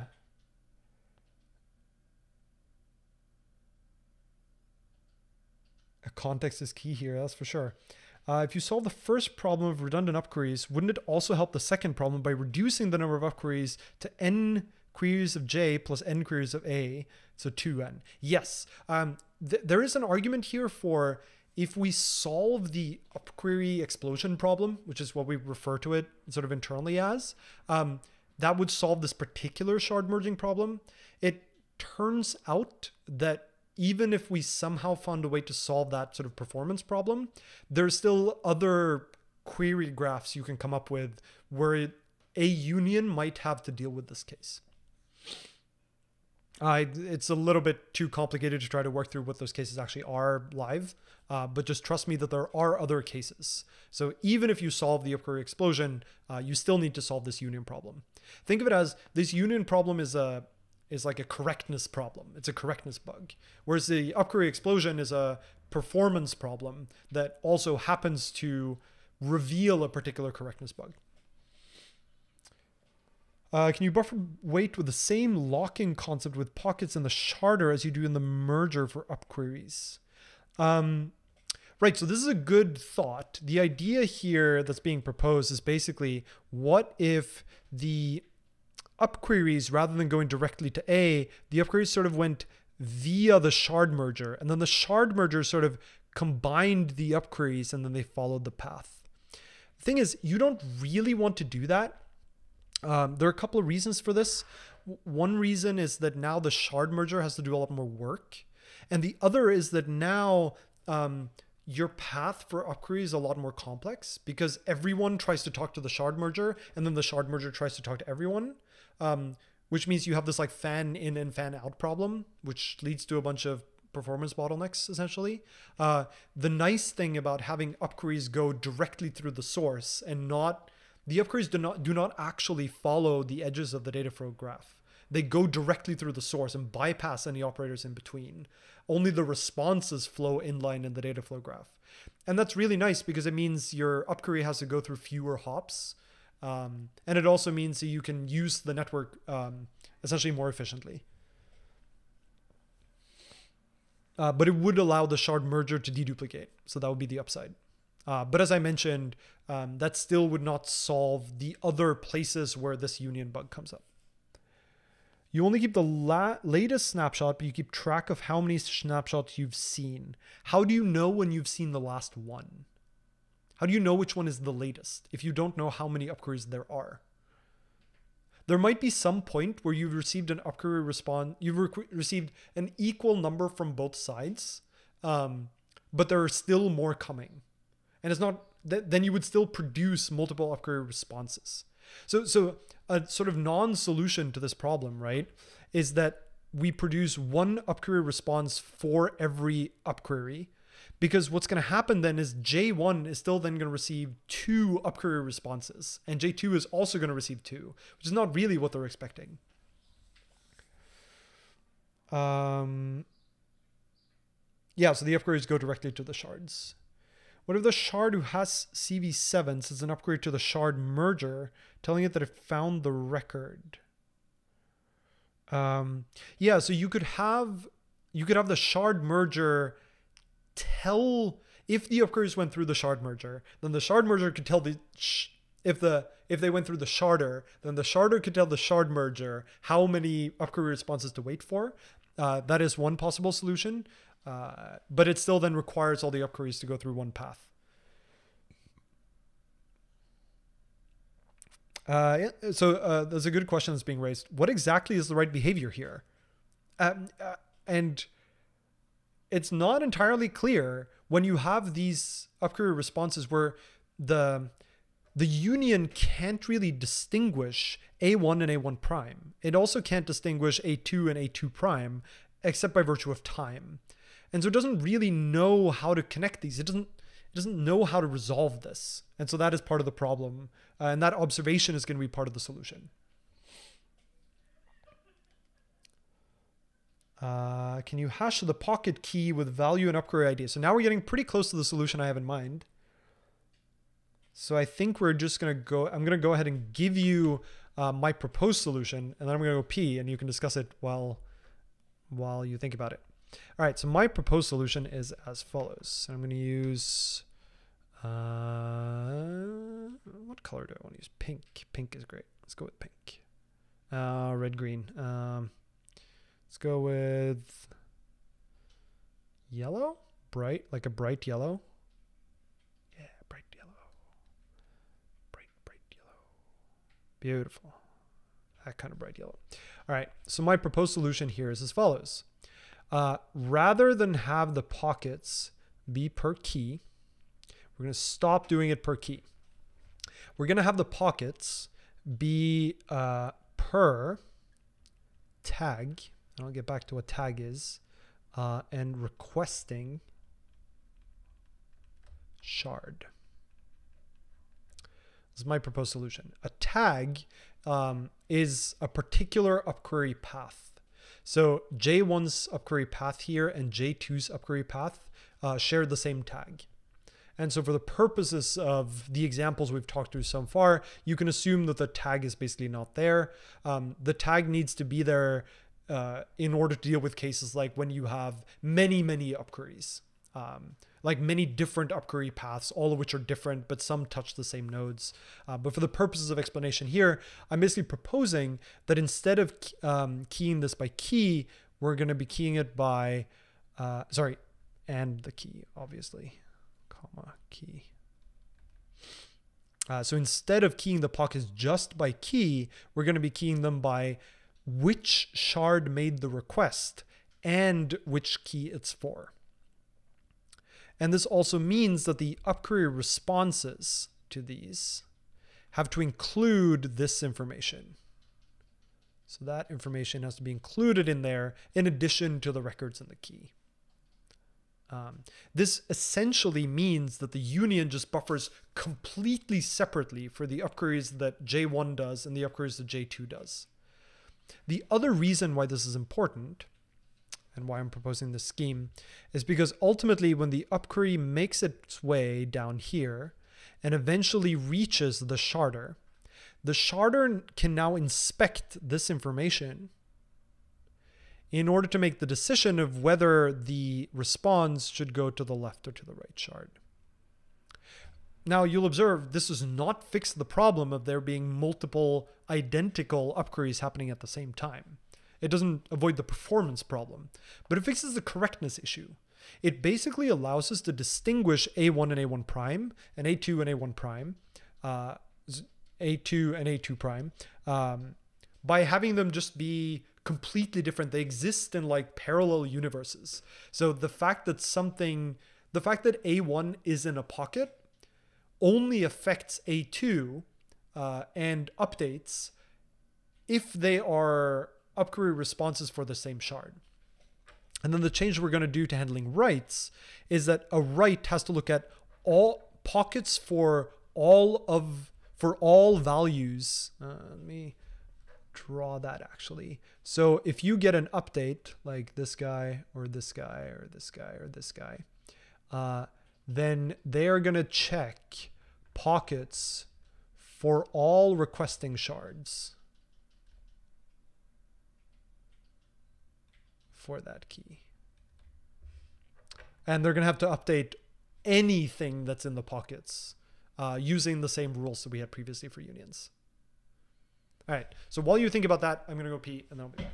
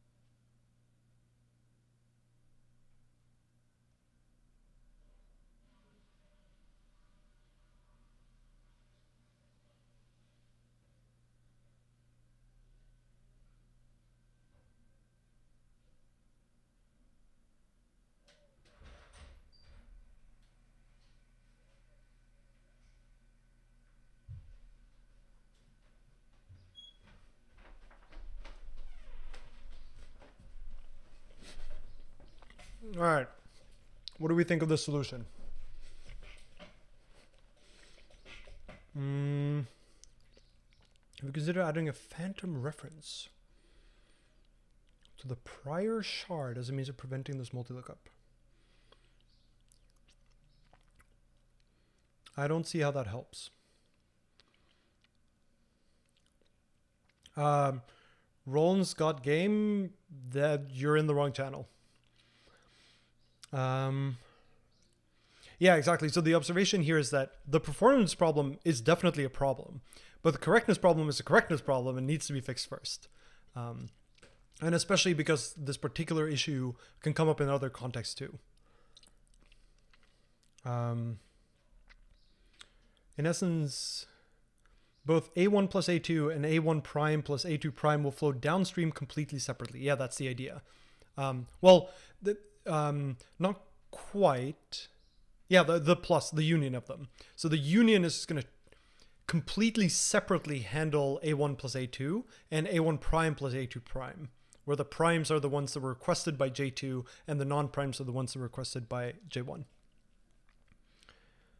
Um, if the tag includes the path of the upquery, couldn't A1, A2 inspect the tag to see if the result is going to flow to the same place downstream and that way throw out redundant queries? Um, so the problem with that approach, the observation here is A1 sees that it gets two upqueries and A2 sees that it gets two upqueries. Why doesn't it just answer the first one? Um, and the problem here is um, when A1 gets its first upquery, how does it decide whether or not to wait? And if it decides to wait, how long does it wait for? That's the problem you run into. Um, you, we could have it wait and then sort of deduplicate, uh, but that gets complicated. You basically need to introduce artificial latency for it to wait. And even then, it could go wrong. And crucially, you could end up in a really bad place where uh, for A1, the first upquery response arrives, and then like enough time passes that it decides to respond, and then the second one arrives. And so it sends two responses. But at A2, the two upquery uh, requests arrive almost at the same time. So it only sends one response and deduplicates them. And now the union is going to get two A1s and one A2, which is going to be bad. Uh, the better way is to not emit two queries. Um, I agree, but again, it does not solve the problem. Uh, there are other graphs that do not have the upquery explosion problem, but still have the, the, the root gets multiple queries for the same key problem. Basically, what this is revealing is that the union pockets cannot just be per key. That is insufficient. Uh, deciding on which queries you should respond or not seems a lot harder. Yeah. The the other thing that's nice here is that uh, with with this particular solution is that A1 and A2 do not know anything about this. If they get an upquery for a key, they respond to the upquery for that key. That's all they do. Um, and so that basically solves this particular problem.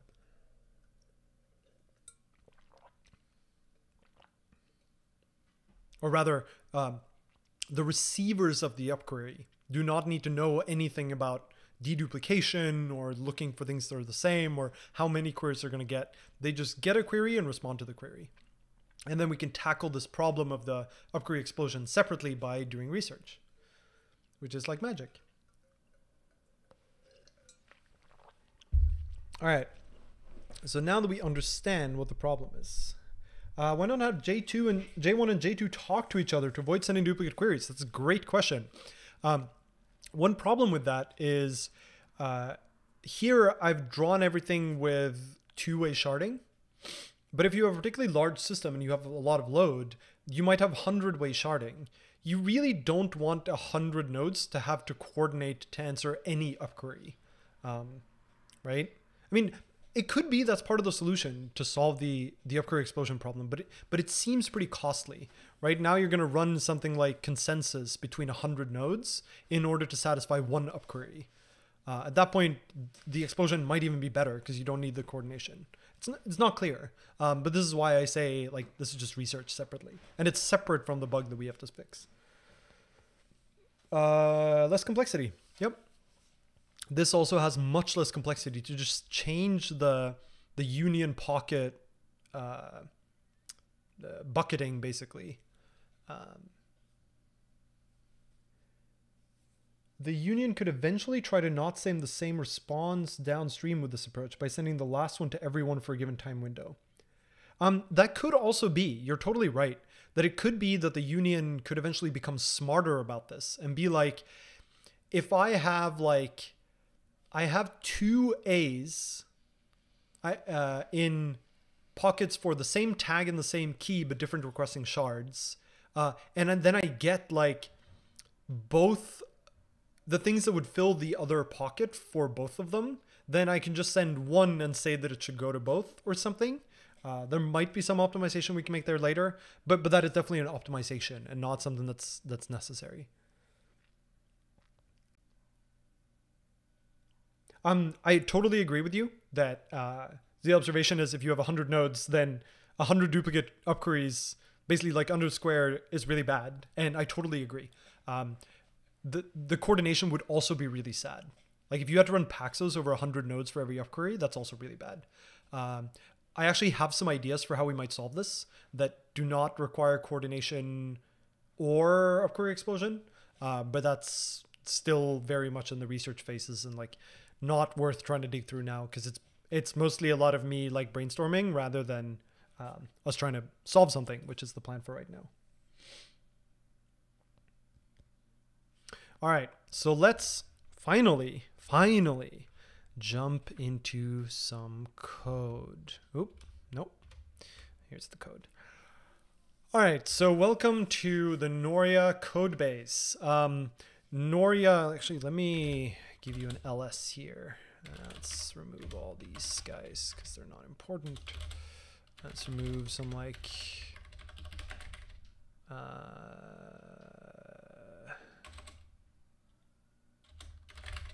move some log files and stuff. Okay, so this is the root of the Noria repository.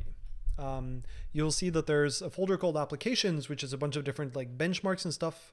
I don't know whether it's still in Noria benchmarks. That should go away. So applications has like example benchmark, uh, example applications and benchmarks.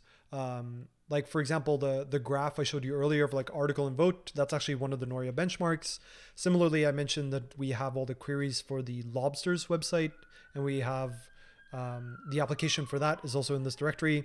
Um, then there's the orchestration folder, which uh, contains things like being able to run all the Noria benchmarks, distribute on EC2, that sort of stuff.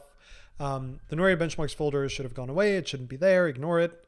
Um, and then there's Noria and server. So Noria is the client side of Noria. It includes basically the API bindings, the similar to like the MySQL client library or the Postgres client library or whatever. It has all of the code necessary to interface with the Noria server.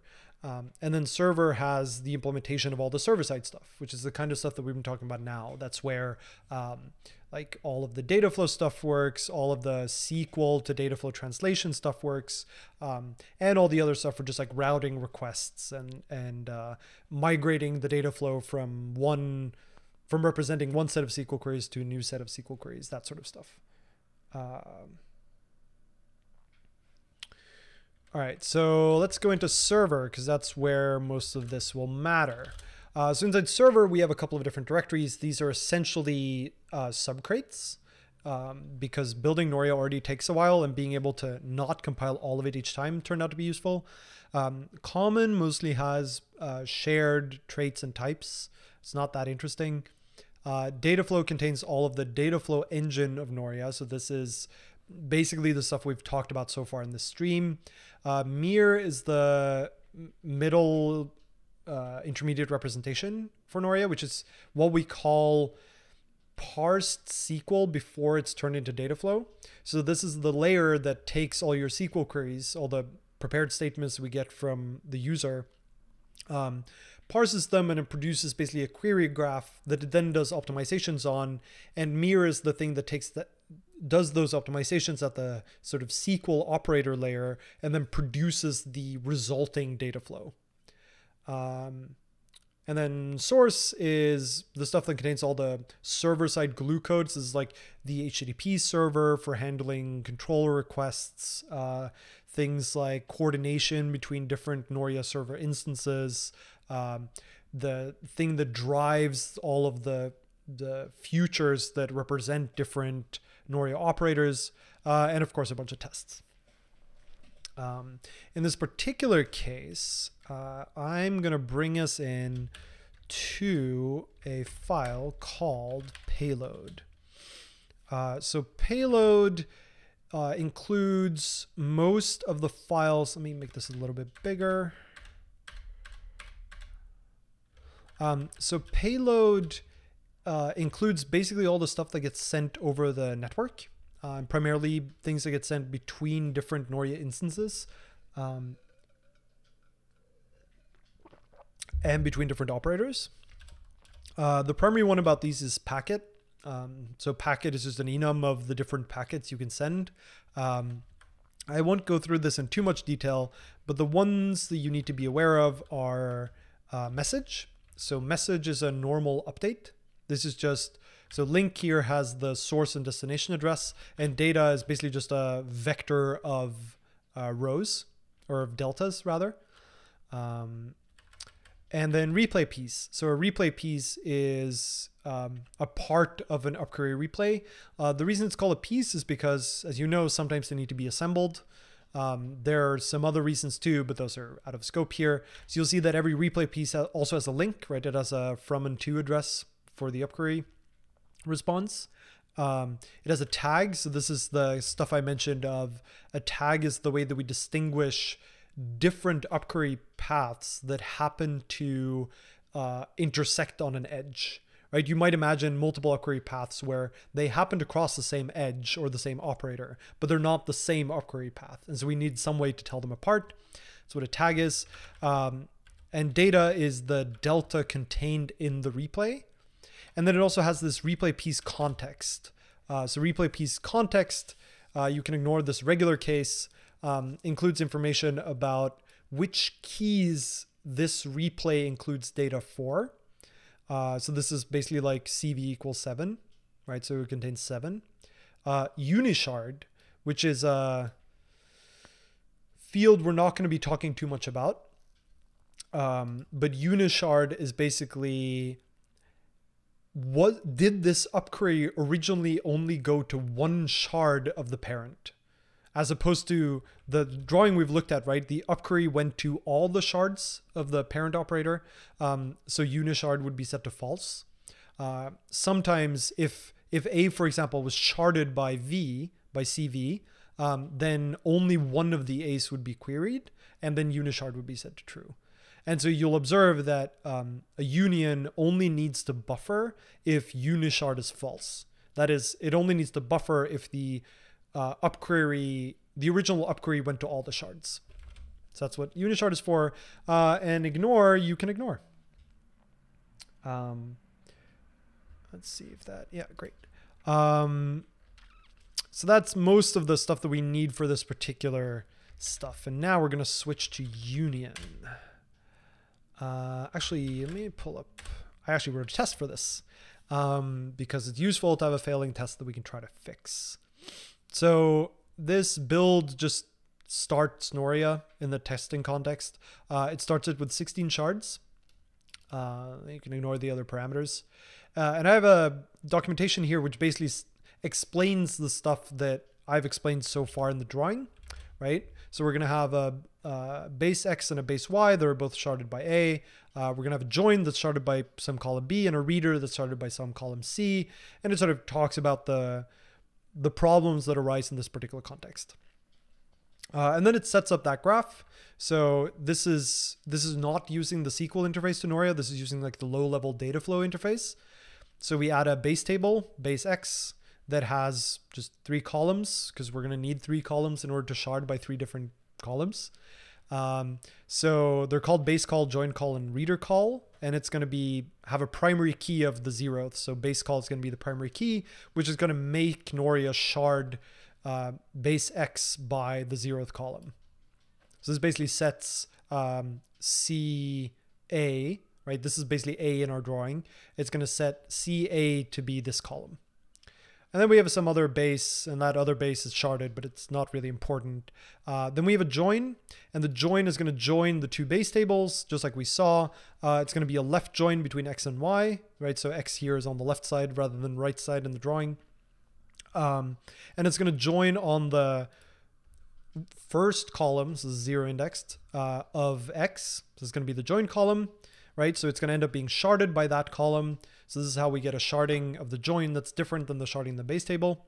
And finally, the reader, which is what we call a view node uh, internally in Noria, is going to have a, lookups happen on the second column, zero indexed, which is going to be reader call.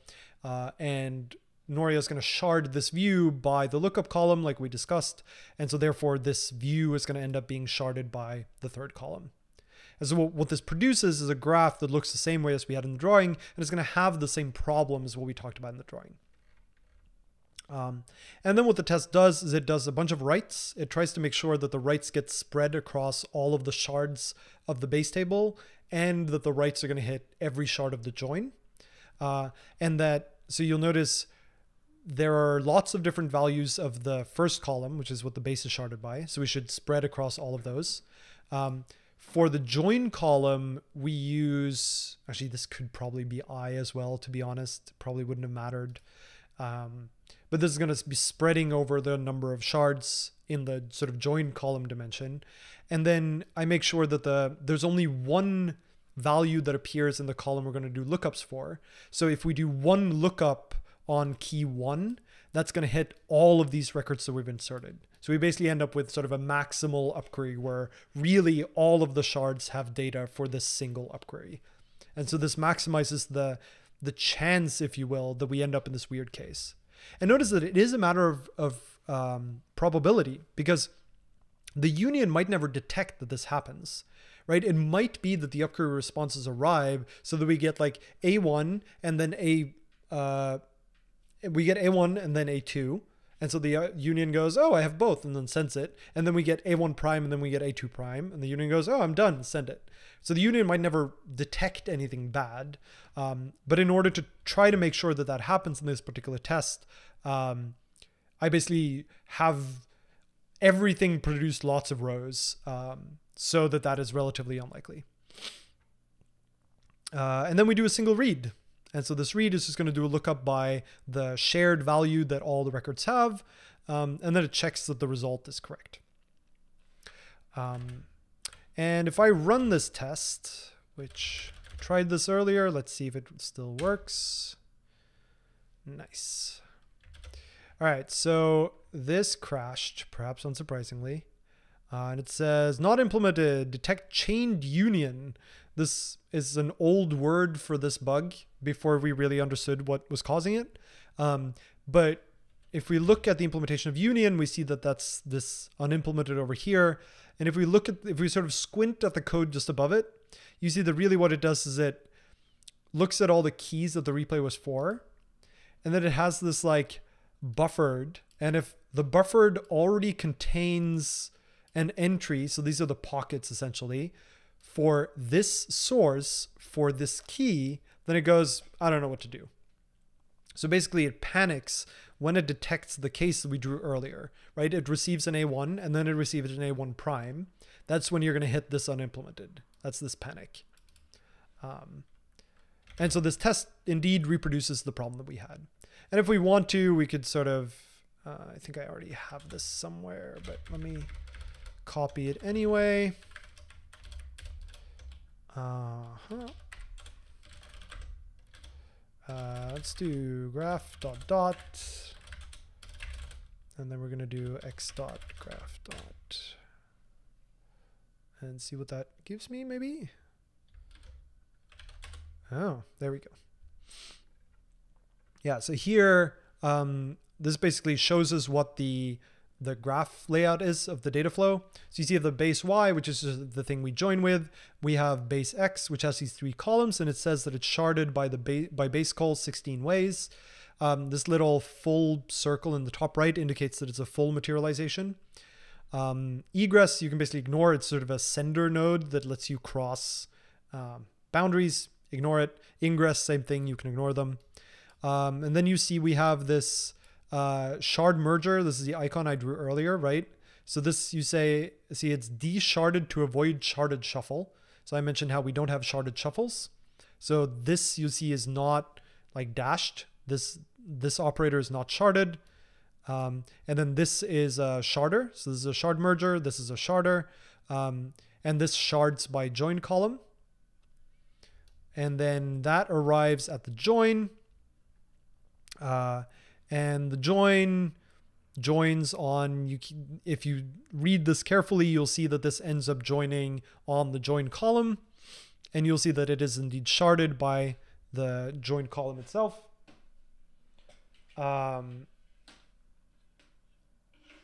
and then at the bottom uh, we do another like uh, shard merger and then another sharding and then we end up with the reader, the view at the bottom, which is sharded by the reader column also 16 ways. And you see this is partial. That's what that little symbol indicates. Uh, and the same thing with the join. I'm not going to go into why the ingress is materialized, not the join. That's for a different time. Um, all right. So we have the graph we expect. And now let's look at what this um, what this crash actually was. So this crash said detected chained union at seven. All right, so what is seven?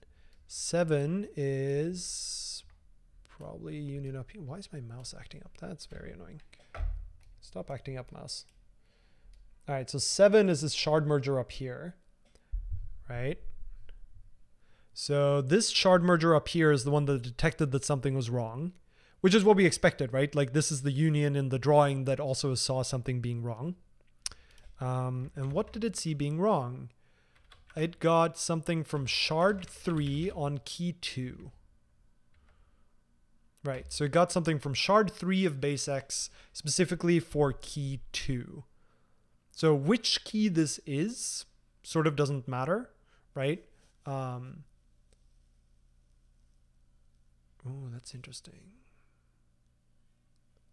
That might be a different thing we need to keep in mind. Um, but yeah, this uh, this just tells us that the union observed the issue that we expected it to observe. Uh, any questions about this graph or or the problem we just ran into? Um, does replay mean upquery response? Yes, replay is the word we use for upquery responses for relatively legacy reasons. Uh, replay pieces and upquery response. Yep. Uh,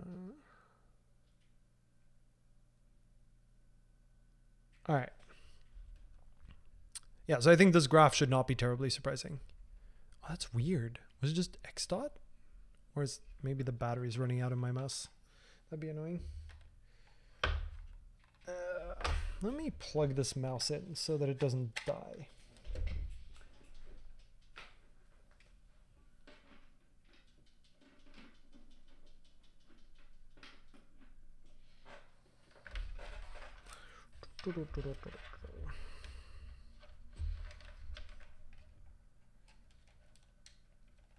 Come now, mousey. There we go, much better.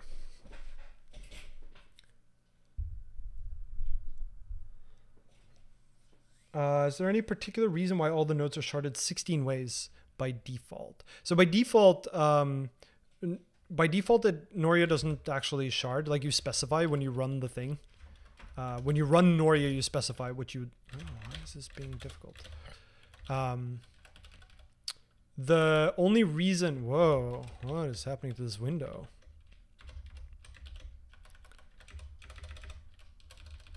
Whoa. My buffer is just being all sorts of weird today. Huh.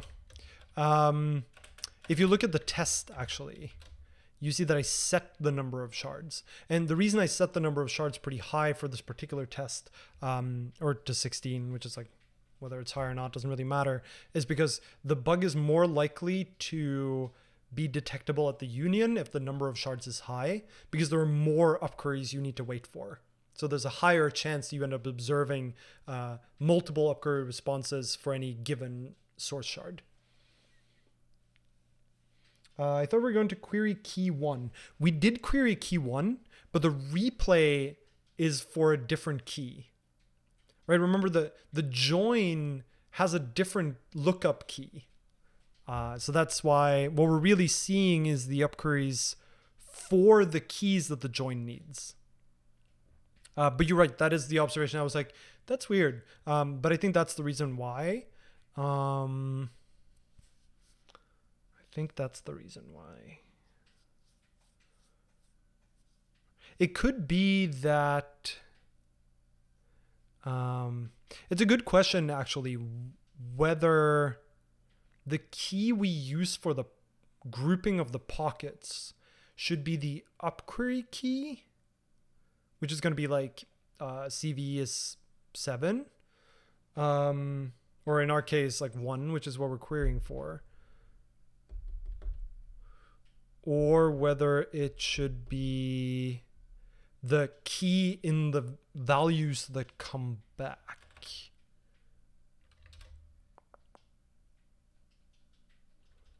Oh, sorry. Uh, when it says key, what it means is columns. It's the key columns it's printing. And the key column is 2. So that's, okay, great. That makes me feel better. Um,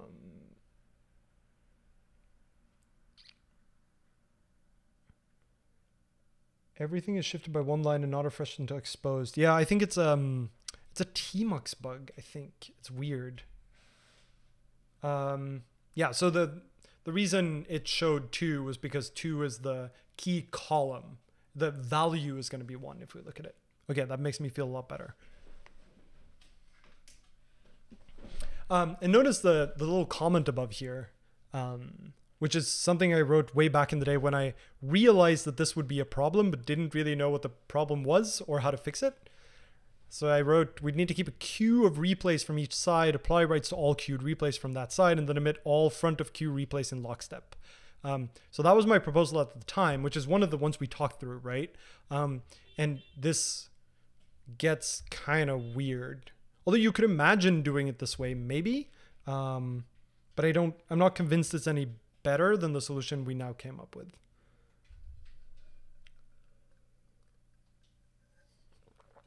Mm. All right. So let's try this and see what happens. Um, okay, so the things that need to change here is that the union basically needs to have some way of knowing the tag, which is sort of, currently it doesn't know the tag either, and it needs to know the tag, but it also needs to know which um, which shard was the one that requested the upquery in the first place.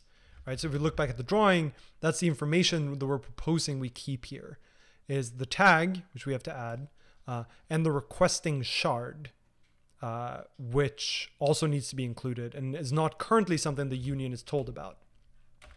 So we're going to go back to payload. Um, and what we need is this replay piece context currently doesn't really include enough information. I think. Actually. So it includes the tag, right? The tag is up here, but we also needed to include um, like requesting shard. It's going to be a u usize. In theory, it could be an option usize, but I think I want it to be a usize, Probably. Yeah, I think I want it to be a usize. Um, and then we're really just going to do like error-driven development here, compiler-driven development. It could be a NeoVim issue, although I've also seen the issue crop up in Mutt. Uh, it's hard to say. Um, all right, so obviously now we're going to get a bunch of errors with in places where we don't mention this field, right? Which is sort of what we want. So node process uh, 87. Okay, so this is the code that when a packet arrives at an operator, um, it needs to call a method on that operator basically. And this is the code that does that. So you'll see this is for node type internal, which are all the operators. You'll see there are a couple of like special node types like egress and readers and sharders, but most of the normal relational operators are internal. And here, seems like it tries to extract some information. It looks like it's turning a replay piece context into a replay context. Wonder why I did that. Well, that's fine. So really what we want then is to also have requesting shard to be communicated as part of whatever that translation is. That's probably going to give us some other issue up here. Yep, so this is going to be also include that information, please. Um, and we also actually want the replay context here to include the tag, um, which is not currently something that's included. So here we'll also want to include the tag, which hopefully it has somewhere. It's a good question. Does it have the tag? Replay piece tag. Because this is all the information that's provided to the union, and the union needs to know the tag and the requesting shard, uh, unishard for unimportant reasons, the key column and keys. All right, see what this gives us. All right, so now we're back at the union, line 450. Uh, so this is also going to be requesting shard uh, and the tag. Great, so now we have that information in the union. Let's see if that's actually enough, whether there are other things we need to pass. Okay, so domain mod, line 1569. So domain mod um, is a part of Noria I haven't told you about yet, which is well, there are many parts, but the way that Noria executes operator graphs, and this actually warrants a new picture, although this would be a much simpler picture actually. Um, the way that Noria models these operator graphs is as follows. If you have a graph, let's go with, I like blues. Let's do a nice little blue.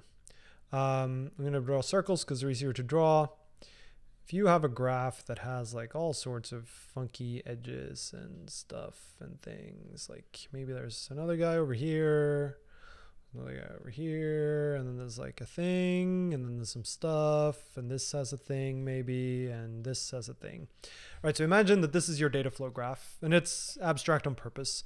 Um, then I told you earlier that Noria only ever has one thread that operates on one node at a time, which is true, uh, although Noria actually goes a little bit further than this, and it uses something called thread domains. So the basic idea here is we're going to draw these sort of artificial boundaries, and how we draw them is something that I'm not going to talk about, but, well, I'm going to talk about a little bit. Um, so this is sort of a connected components diagram, except we subdivided more. It's more like a Voronoi diagram. Um, and the idea here is that all of the nodes in one pink circle will be handled by one thread. Uh, the reason this is advantageous is that um, it means that this channel, for example, does not need to be a channel. This is really just a function call. Because there's only one thread operating on this whole pink circle.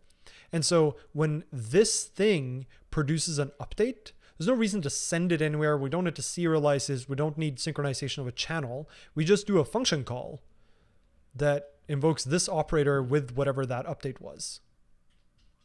Uh, and in some cases, this can save you a lot of work. So imagine you have something like uh, a large chunk of updates or something. Having this sort of thread local operation uh, can save you potentially a lot of work. Um, and it avoids things like contention on channels. Um, and it has it has many other benefits. Uh, it av- avoids a bunch of mem copies. It avoids uh, cross-core movement of data. Uh, so there are various there are various reasons you want to do this, but you don't want these pink circles to be too large because if too large, then like all of the other cores on your system might sit idle because they have nothing to do. And then this one thread is just like spinning on this because all the work is in one domain. So you want sort of a you want to divide your data flow graph into domains. That's what we call these, uh, so that you have enough domains you can saturate all your cores, but as few domains as possible given that constraint. Um, and so that is what, and so the extreme case of this, of course, is uh, every node is in its own domain. Um, that's not what Noria does, but you can imagine. So domain mod rs is really the code that handles all of the stuff that happens in one pink box. Um, and if if one pink box includes only one operator, then there's relatively less work that has to happen here. But think of this as like this is the thing that like accepts incoming connections, decide which node it's for, does the processing, fills in missing state, um, handles requests from readers when there's like a uh, an upquery request to it. It does all of like the logic that is greater than that of a single operator. All of the all of the stuff that has to do with talking to other nodes. Anything that's like uh, intranode as opposed to internode operation. Uh,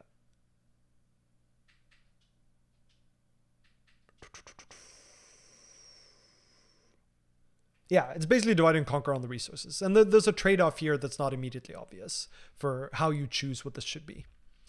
Um, all right. So what this code is doing, the, all the like domain mod is a pretty large file because a, it turns out there's a lot of like uh, internode stuff. Like there's a lot of bookkeeping and logic that's needed there.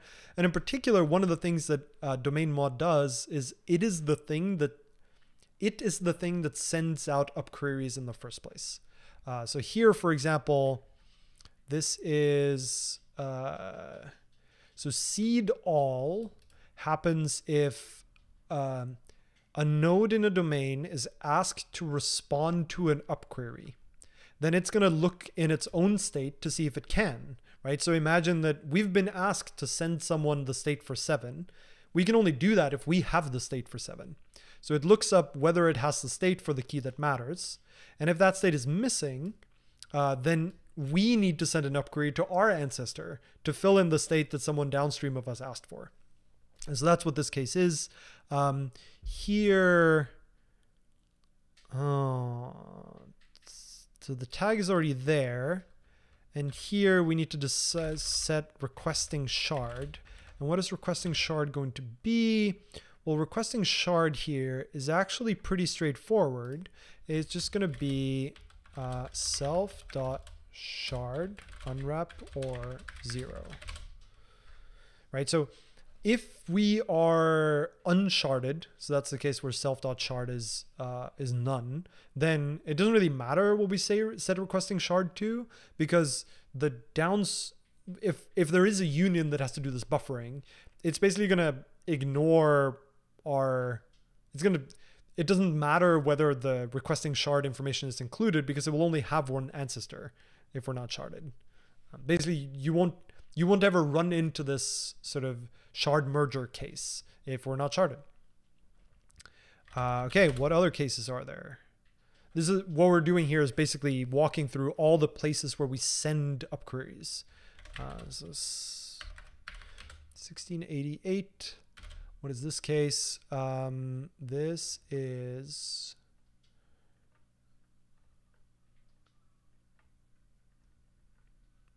uh, for relatively stupid reasons, this is basically the same thing. Um, so this for requesting shard is also going to be self dot shard unwrap or zero. In fact, I think all of them will be, but let's see for sure. There's actually, uh, I'm going to give you a little bit of a spoiler here. This solution is insufficient uh, because there are some cases where imagine that J, the J's here are not materialized. And so the upquery goes all the way from V to A. Um, then it turns out the union needs to know some additional stuff, but we're just to ignore that problem for now because this is, this is still progress. Uh, 2309. This is if a... Ah, so this is in handle replay. All right, so this branch we hit if... Um, this is when a domain receives an upquery response. Uh, then it processes it, it passes it to some node. And then after the node has processed it, it needs to do some additional things. And here I think we can just ignore the requesting shard because it's not relevant. Again, there's a lot of code here that I'm just sort of glossing over. Uh, and it's because Noria is big and complicated and it's not it's not worth your time to go through it. Uh,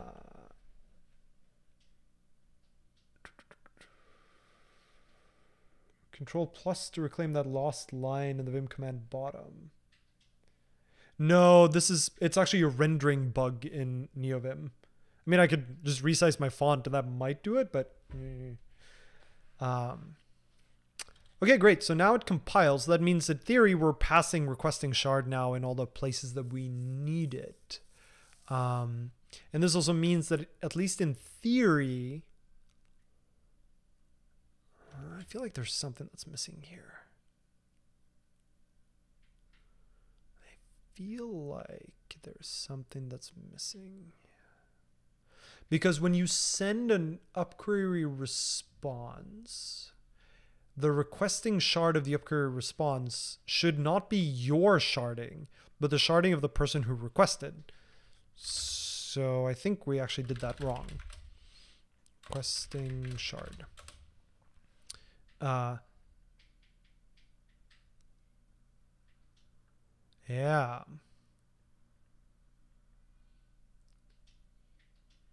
I think actually what has to happen here is uh,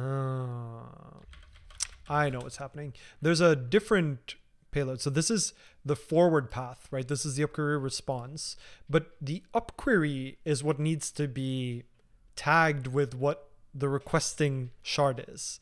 So there's another packet type, which is request partial replay. And this is the one that is to have requesting shard.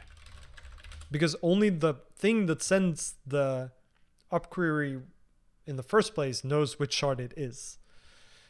All right, so in other words, uh, requesting shard, this is wrong. Uh, and this is wrong. So let's bring that back. All right, so 306. This is a request. So this is one of the places where this should be self shard unwrap or zero. Uh, 409. This is a request, so that needs to include R1. Um, this is a request, so that needs to include R's. And this is a request.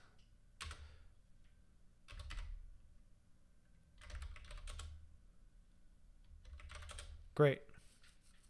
So now we make sure we send it everywhere. Oh, no, 2434. And here. And now we need to make sure that the response gets tagged with uh, requesting shard with the information. the response gets tagged with the information from the request, right? So what's this going to look like? So this calls seed replay. So that's going to have to include requesting shard. arguably this function should be rewritten now that it takes this many arguments, but we're not going to do that here. Requesting shard is going to be a usize here. Uh, and if th this... Okay, so this case is easy, right? Because this is in the same function, so we know th this sort of is, we got asked to do a replay and we're going to send the response straight away so we can just copy the information over. Um, the other case I think is going to be a little bit harder. I guess we're about to find out. 1580. And so this is a little more complicated. Um, not sure how we're going to do this. So Noria has this... Mm, Noria has this feature where if it gets an upquery, it'll wait a little while before satisfying that upquery because it assumes that there might be more upqueries for the same for different keys for the same tag and it would like to batch them together. Um, which isn't really gonna work. So i think what this is gonna be is the maybe what we should actually do is change the meaning of tag. I think the tag here is actually to be... Oh, we can do this. That's fine.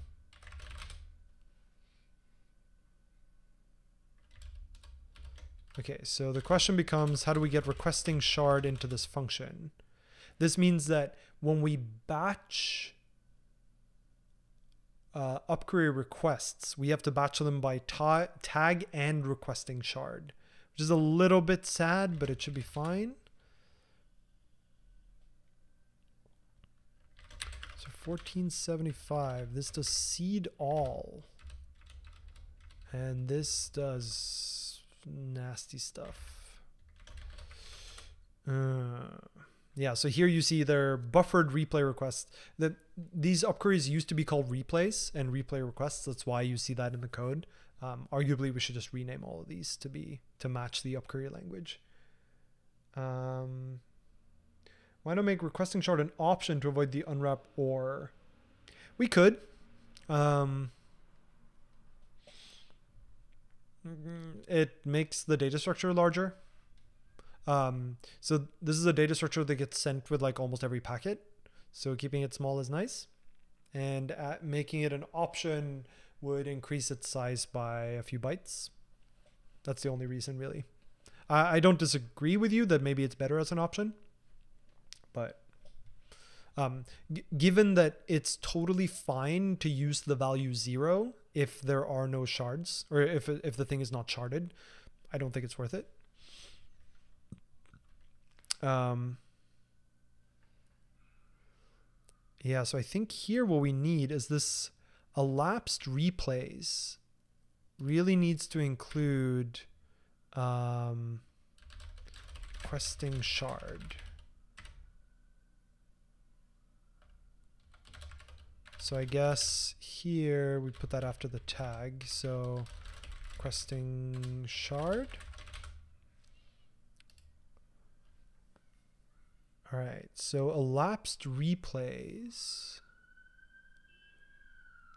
Yeah, so buffered replay request is currently essentially a, a hash map from tag to the batch we're collecting. And I think the key will actually need to be uh, a tuple of tag and requesting shard.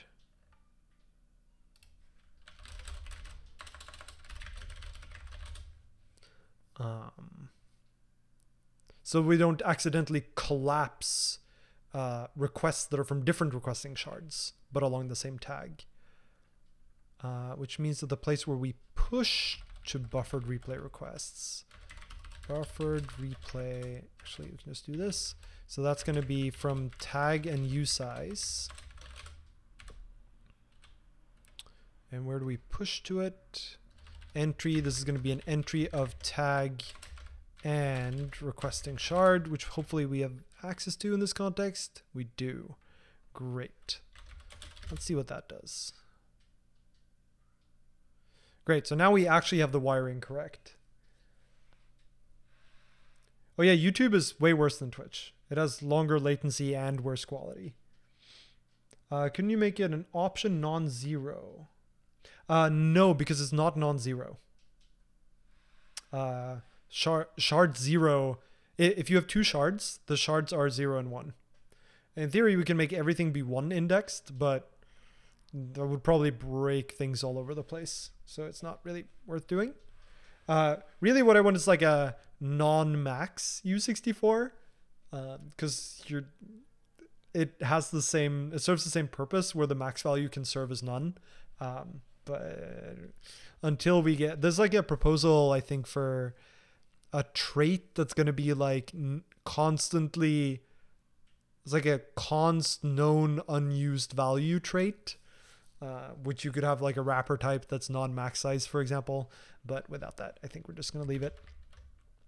Okay, so in theory, we now have all the wiring we need. Um, so now the question becomes, what does the union do? And I think what we need is for the union, let's see here, replay pieces. Um, yeah, it's awkward. Um,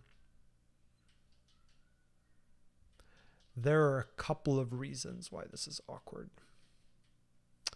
But basically, this has to be keyed by tag usize and the key. And the key is a vec. We have far too many vec data types. It's a little unfortunate, but it's because um, you could imagine that the key is a compound key like the thing is sharded by or keyed by multiple columns rather than just one column.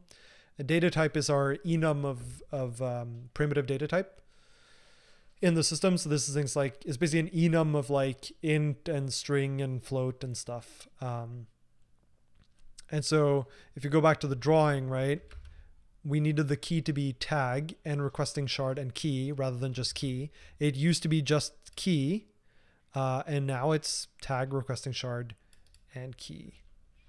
Um, and now I guess replay pieces is going to be a bit of a pain because this, the key here is going to be the, does this even know the tag? Oh man. Actually, okay, so so you'll see that so on input raw is a thing the union implements that tells it about the replay context of the updates. you you'll remember that um, I told you that operators don't generally know that something is a replay. All they know is that something is a normal update and that's all they know how to process. So there's an on input function. That's what most of them implement. And on input, you'll notice has nothing about replays. It doesn't know whether it's a replay or not. And unions are a little special because they need to do this buffering. So they get to implement on input raw, which also gets information about whether it's a replay and if so, what type of replay. Um, and you'll see that we match on that. And in the case where the replay context is none, so it's just a regular update, then we don't have a tag, we don't have a requesting thing.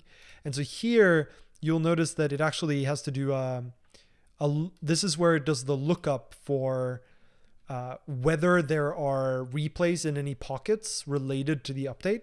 And so this we're definitely going to have to update because this is going to have to check all of the pockets for that key, which makes me think that replay pieces is actually going to have to change a little bit. It's going to have to be not this, but vec data type to a hash map from this to replay pieces. Because we need an efficient way to, at, the, at which point this should really just be a B-tree map, to be honest. We need an efficient way to find um, to find all of the tag usize pairs for which this key needs to be updated. I think that ends up being right. It's going to be a little bit awkward. This patch probably needs a little bit more infrastructure. Um, yeah. Um, the reason to switch to a B-tree map here is because um, tuples are ordered by the parts of the tuple. So you can do something like, I want to do a range lookup on everything where the key is equal to this and these have any value is an efficient query you can do against the B-tree map, as opposed to having a hash map where the values are hash maps, a nested hash map. Um, uh, why is the hash table key vec data type of the key and not the key itself? Wouldn't it lead to bugs when different keys have the same type? Yeah, so that that's basically what I'm observing here. That um, that really this should be like, yeah, it's kind of awkward because I think actually what value you look up into here by depends on the tag. So to backtrack a little bit, um, unions are actually broken in a bunch of different ways. Uh, and one of the, one of them is the thing that we're looking at now, which is unions basically assume that there's only ever one replay path through them. Uh, and that's why it could get away with this, right? Where if there were two replay paths, it would just crash. It would not work correctly. But if there's only one replay path, then there's only one set of columns, and therefore you're fine there this will never have a mismatch. And what, now that we're introducing this notion of there might be multiple, um, then this gets iffy. So really, if we wanted to stick with what, um, with the assumption that union unions already have, which is basically there's only one tag through me. Uh, in fact, let's do that for now, and then we're gonna have a to do. These need to be per tag.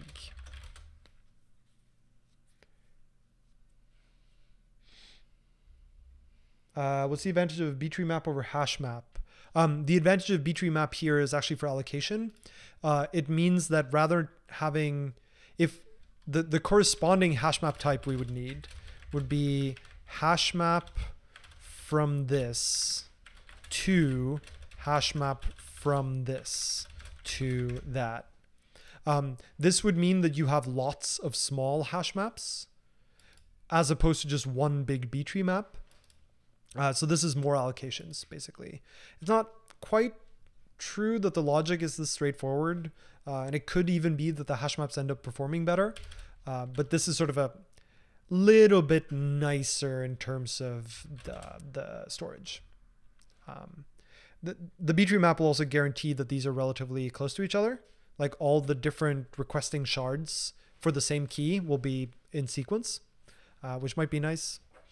Uh, it may not end up making a difference. Um, yeah, so notice that we're basically here ignoring the tag for now, which is uh, is an we're we're continuing with the implicit assumption that uh, unions already had that um, it was only ever unioning the, the replay paths was were only ever over one set of columns. This is not true in practice, but there's no reason for us to fix that in addition to the bug at this time. Um, okay, so now let's make this be default default rather than what it was in case we change it later. That can still be len, that's fine that could still be whatever it was. Okay, so here, um, let's get back to this one because this is the case for updates, which are a little more complicated. Um, and then the other replay pieces, that's fine. Uh, this can actually be a memtake, which exists now. uh, replay temp is memtake, which I implemented. Uh, all right, what else do we have? So memtake just is a mem replace with um, uh, with an implementation of default. Uh, so this is still going to key by the key, but then in addition, it needs to key by. Right, so this is a B tree map now. So the entry here is actually going to be key and requesting shard. And now in theory, this should never be entered. So this is got two upquery responses for the same key for the same downstream shard. What? Great. Uh, so this is going to be something like downstream shard issued duplicate up uh, about to uh, how do we want to phrase this? Downstream shard double requested key? Uh,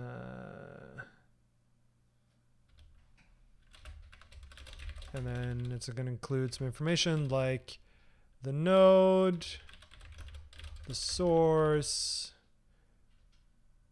and the key columns. That's fine.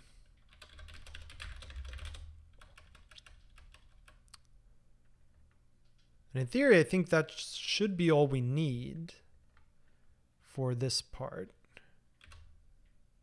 Uh, this can now do... I think this can now be a replace. What is this business? On eviction. Oh, eviction is going to be all sorts of annoying. So here, oh, I really don't want to do eviction.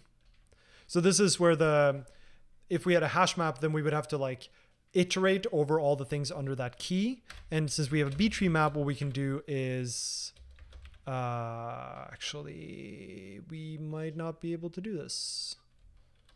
But I think what we're going to end up doing is like this to key u size max value. I guess dot dot equals. And then this is going to be, we're going to have to do something silly like collections, B tree map, range, bound. What's it called? Uh, I'm gonna, the screen is gonna become bright. Uh, no. B-tree map. Let's see what we got here. Range bounds.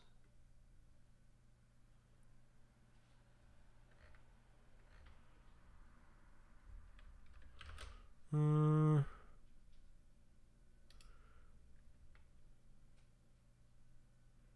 Oh, I see. That's fine. Yeah, so this is just going to be, instead of get mute, it's going to be range mute. Right, so this is then going to hit um, all of the different requesting shards for that key. And so this is where the B-tree map comes in handy. Although you could do the same with a hash map. Uh, because here, when, when a given key needs to be evicted, we need to evict all of the all of the buffered pockets. I'm not going to talk too much about it because it's complicated. Um, yeah, and then we only have the update case left. And here actually, oh, this is gonna, this is gonna kill me. Tuples get awkward here. Um, this is gonna be like let key is this. Um, and this is also gonna be a range mute and this is not going to be an if let. This is going to be a for pieces in. And this is going to be from key zero to key usize max value. because here too. So this is this is the case where we get an update and we need to check all of the pockets, right? So in this case, uh, because we're gonna have a distinct, we're gonna have a distinct pocket. We're gonna have sort of a version of this pocket for uh, J1, and we're also gonna have a version of this pocket for J2. And when an update comes in, it needs to update the uh, buffered upquery response for both the shards, right? So it's going to look up by its key and then it needs to update all of them. Uh, and that is what we're making this this code do. It used to just look up, is there anything buffered for this key from this source? Um, and now it's going to not do that anymore. And sadly, for reasons I don't want to fix right now, um, it means we're going to have to clone the key. And it might have to stay that way. Uh, this probably... Oh, man. Uh, this else can go away. Let's see what this does. Uh, 626. Right, so this is going to be the same for E in this. It doesn't have an else. That's great. Uh, 630.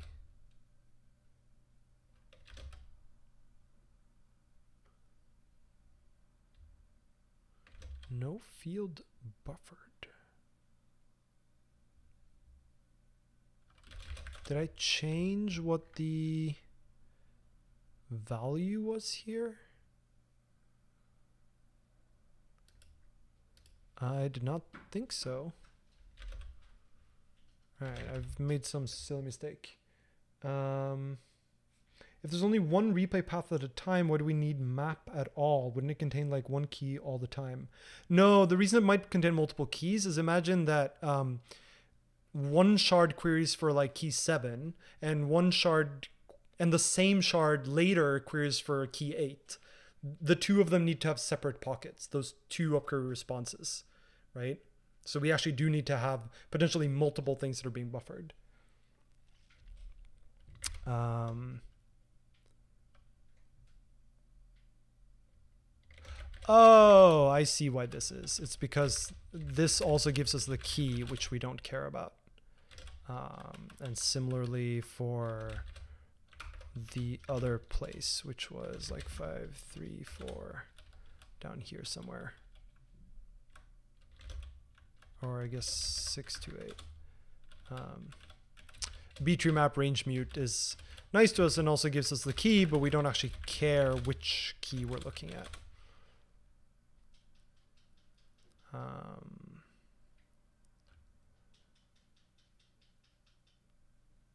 ooh. Won't let me do that, huh?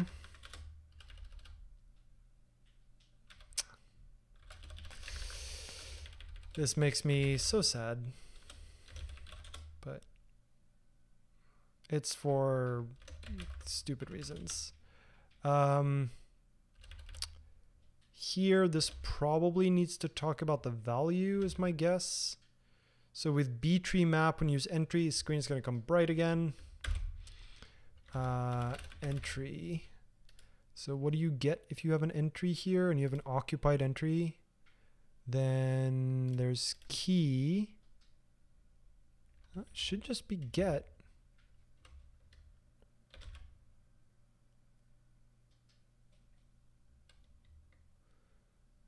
Uh, this expression has type entry that expected entry found hash map entry. Ah. Yes, that is true. Um, this is now a B tree map entry.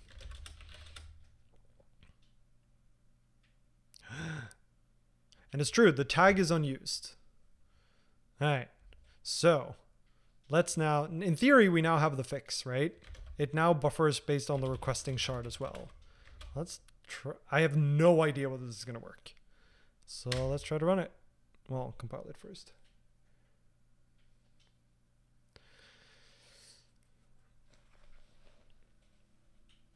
It's pretty close to three hours. Let's see if the live streaming gods are satisfied with us.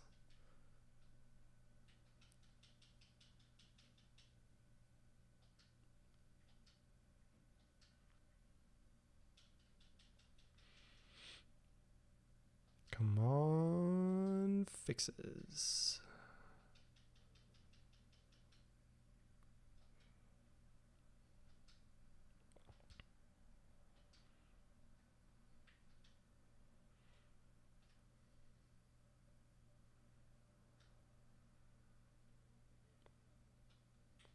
Well, it didn't crash,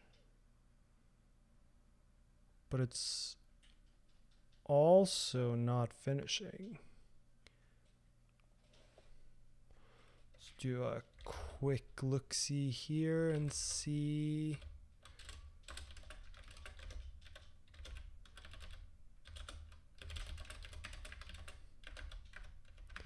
See what it's up to.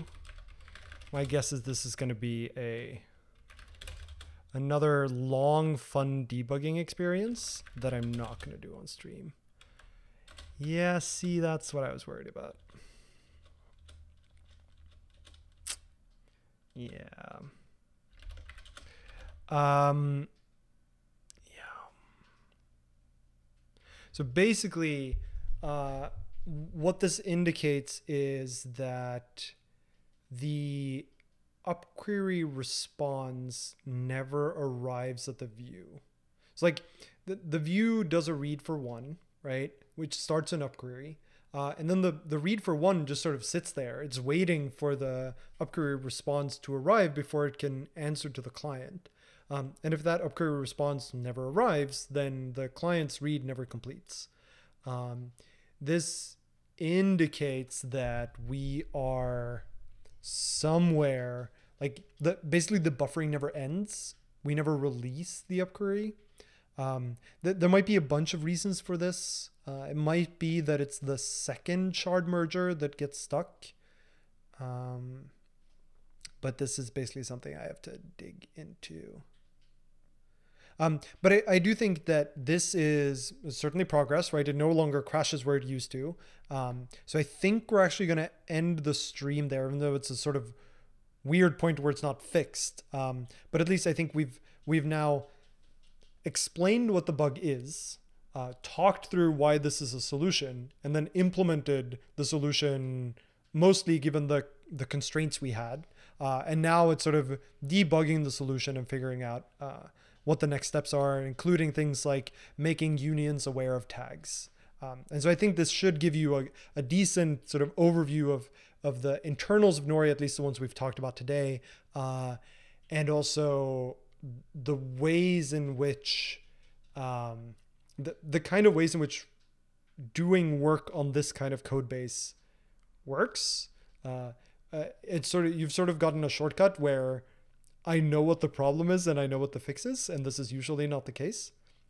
Um, but yeah, wait blocked is basically what happens. Like in in the async await world, or, or just in general, when you have like this is a problem where something is just buffered forever, uh, and then the way that problem manifests is everything is stuck waiting. Uh, it's like it's a deadlock.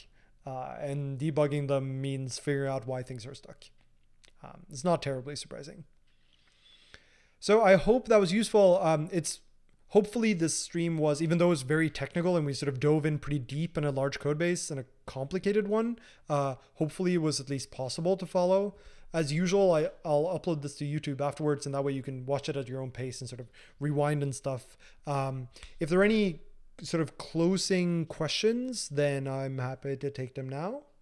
Um, and then whether we do another Noria stream, I don't know yet. Um, it sort of depends on the response to this one uh, and whether another good problem comes up. So this particular bug is one where I thought I might be able to explain it and go through it and fix it in like three hours. Um, most problems in research are not like this. Um, this is sort of an outlier. Uh, so if something comes up, then I might.